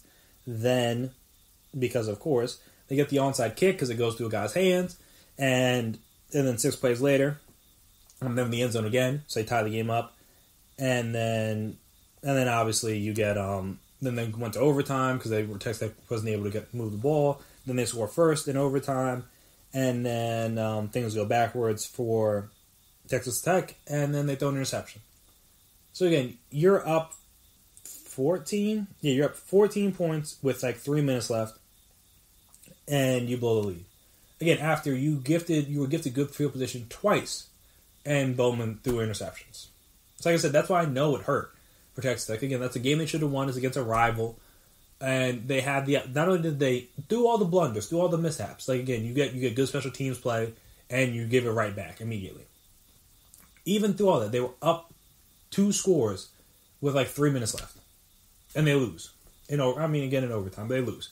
Like I know, like that, that's a tough one. So I said on the Texas side of things, I don't know what happened like in their defense, non-existent other than the interceptions. Like outside, the, they didn't get the interception. Their defense did little to nothing. I mean, Bowman threw for what, 325 yards, five touchdowns, and and the guy Thompson ran for 100, 104 yards and two touchdowns. So the offense was able to move the ball fairly easily on them. Granted, they're so Texas' is offense, but again, that's Big 12 football for you. The offense can move up and down the field. Is what it is. But yeah, like I said, that that's the game that shouldn't have been that close. Shouldn't have taken overtime. Shouldn't have taken overtime. Excuse me. But at the end of the day, Texas got the dub. And when in, in in a day when Oklahoma loses, all you need is the dub. All you need is the dub. Like I said, to just just to be able to be like, all right, okay, now we sh- now be ahead of them. And like I said, they, they got some, yeah, Texas TCU coming up. Then they got te- then they got Oklahoma. Then they got Baylor. Then they got Oklahoma State. As I said, they they have to go through some games their own, and we'll see how they play. But again, after Oklahoma caught the L, Texas needed to win this game, and look, they weren't going to win this game, and they found a way to win this game. So you can't, like I said, you can't squander that opportunity in that moment where you win a game you shouldn't win. On the same day where your biggest competition in the, in the conference loses, and like I said, you just can't squander that. So we'll see how that goes. But then, like I said, we want to talk about SEC real quick. Um, well, first, I actually would touch on the fact that Miami and D'Eriq King looks amazing. They smoked Florida State. Florida State is not back. Um, Miami is now 3 and 0. King, 29 of 40, 267 through two touchdowns. Also ran 65 time, for 65 yards on eight carries. So, again, he looks like everything they wanted him to look like um, once he transferred there. So that's going to help them because again they're going to need to they're going to need to keep pace with the Notre Dames and the Oklahomas and not the Oklahomas, the Clemson's of the world. If they want to have a shot, they're competing for the ACC title, and I imagine that's what they got him there for. But again, SEC. Just want to touch on that real quick. Alabama still looked like Alabama. They they put it on Missouri. Um, Florida Florida put on Ole Miss. Auburn handled Kentucky, but LSU. And again, I don't know if they should have been the sixth ranked team just because again they they lost a lot of guys, and also apparently Stingley was out with an illness, which apparently wasn't COVID related, but like very interesting. Um, again, I don't hope it was COVID, but at the same time, that clearly hurt because again the team was already without a bunch of their key guys from last year. Again, not even just offense like Delpit, um, Patrick Queen, Uh, I'm trying to think who else they lost. Uh, Chase on like again, they lost a lot of pieces from that um, championship team. And these things going to be one of the guys returning. He's going to be back, and again, he couldn't play. And clearly, they needed him because they gave up uh, a record 623 yards to KJ Costello in his first game in, in the SEC. Like I said, I didn't watch a whole lot of KJ Costello at Stanford, but I know he never did this. I know he never did this. And again, it's just like one of those things where like, um, where it just it it, it raised a question of the level of offense in the SEC. Again, that's been a lot of the things that oh, the SEC is so competitive, the defense is so great, blah blah blah. But it's like, are they great because the quarterback plays bad and the offenses are kind of antiquated, or are they good because the defenses are good? I mean, Alabama's and like the Georgia and like the teams have had good defense, so that's not as you've seen in national championships things like that. So like they've won national championships. It's not like their defense has been bad, but like as you've seen in recent years, Alabama's struggled when they've gone up against the Clemsons of the world or the LSU's of the world. Like you've seen great offenses dominate in like dominate in the SEC and also dominate SEC teams once they get to the championship. You saw what Ohio State like again, um, Florida State like beat Auburn like again like you've seen in recent years. SEC teams get out of the SEC and and they play better offenses and things go a little bit differently than they had been. And again, this is a more recent thing. Obviously, the Alabamas of the world and SEC has has been very dominant in the last twenty years um, when it comes to championships and things like that. Again, that's found it interesting that the first game the air raid was in the SEC. All of a sudden now Brother Stone for for career highs and breaking records. Just again, it's very interesting timing to say the least. Um, but yes, I know Mike Leach was happy. Uh, I know KJ Costello was happy that he was able to leave um, the the uh, the I don't want to say antiquated, but maybe the outdated, more run heavy offense of Stanford and get into a more pass heavy offense, and now he has SEC record for passing yards, and we'll see how long it lasts. And and obviously, like I said, they were without their best corner. LSU was, but you could just see that this is going to be a different year. This isn't this isn't the same LSU team that they had last year. And again, that, that's fine. That's fair. I didn't expect it to be the same, but you see, it's not going to be that. It's not to be as easy. It's to be a little bit more difficult, a little bit more challenging, and hopefully they're ready for the task. Because again, it's um, it's going to be a very very different year. But again, college football's back. Sports are back. Well, not sports I've been back, but college football's back. It was a fun Saturday. There was a lot of good games across the college landscape on Saturday. A lot of entertaining games. Like I said, the Oklahoma game was entertaining. Texas, Texas Tech was entertaining. This watching Florida do their thing was entertaining. Watching, like I said, D'Eriq King, or uh, I think the I think it's how. Yeah, I want to make sure I'm saying his name right. Yeah, I don't want to. Like I said, that would be disrespectful for me to for do wrong. But yeah, D'Eriq King, he played well, and obviously, like I said, watching KJ Costello and Mike and Mike Leach tear up the defending national champions was was quite impressive to say the least. So, um, like I said, with college football back, should be a lot more fun Saturdays ahead, and that's even before we get to the Big Twelve, Big Big Ten, excuse me, and Pac twelve coming back as well in the not so distant future. But that'll do it for me here today on the GSMC Sports Podcast presented by GSMC Podcast Network. I want to thank you guys as always for listening. If you haven't already, subscribe to the podcast. Make sure you never miss an episode.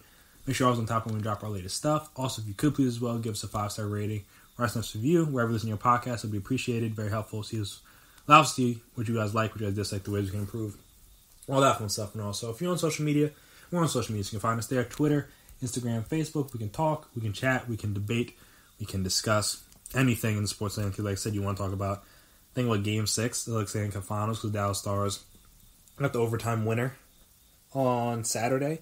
So I think Game 6 is Monday. See if the Lightning can close it out or we get a Game 7. Two best words in sports. Um, talk about your predictions for them will be playoffs talk about your predictions for Ravens Chiefs, and talk about which coaches you think are on the hot seat in the NFL, your finals previews, everything. Like I said, anything you want to discuss, feel free to reach out to us and we can discuss it. Like I said, doesn't doesn't matter the sport. Um, before I get out of here, like I always do, want to give a shout out to essential workers that have been working tirelessly through this pandemic. So first responders, EMTs, doctors, nurses, uh, firefighters, postal service workers, retail workers, um, grocery store workers, um, UPS, FedEx, Amazon, all those guys that are allowing people like me to stay home and stay safe, or even when we go out to be safe. And again, maybe have to interact with people that may not take the pandemic as seriously as maybe they should. Um, like I said, I know it's a lot to deal with, especially during this time where everybody's a little bit more stressed than they would be on, in any given year. Um, so I know, like I said, you guys are the unsung heroes of this, and should be appreciated as such. So don't get any appreciation from anyone else. You will at least get it from me.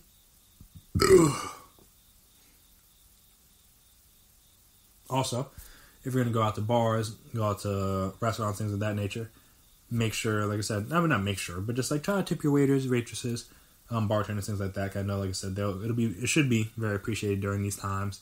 And like I said, I'm not asking anyone to go above and beyond their means if they don't they, they don't have like that. I know everybody's financial situation is a little bit different due to the pandemic. So if you can, like I said, I'd imagine it would be greatly appreciated. Also, wear a mask. It's very simple. It allows to be done with this sooner rather than later. Obviously, the vaccine and things will be much more beneficial, but that uh, widespread vaccine isn't coming anytime soon. Obviously, they say there should be one by the end of the year, but like not everybody's going to take it because no one's going to take the first trial of the vaccine. No one wants to take the first trial of the vaccine. You got to make sure it works first, which I understand. I know I won't be doing that. I, I take vaccines, but I'm not going to take that first one at least. Um, but yeah, so wear a mask. Um, but yeah, that'll do it from here today. I've been Chris Blades. That has been my time. And until next time, peace out. You've been listening to the Golden State Media Concepts Sports Podcast part of the Golden State Media Concepts Podcast Network. You can find this show and others like it at www.gsmcpodcast.com. Download our podcast on iTunes, Stitcher, SoundCloud, and Google Play. Just type in GSMC to find all the shows from the Golden State Media Concepts Podcast Network. From movies to music, from sports to entertainment, and even weird news. You can also follow us on Twitter and on Facebook. Thank you, and we hope you have enjoyed today's program.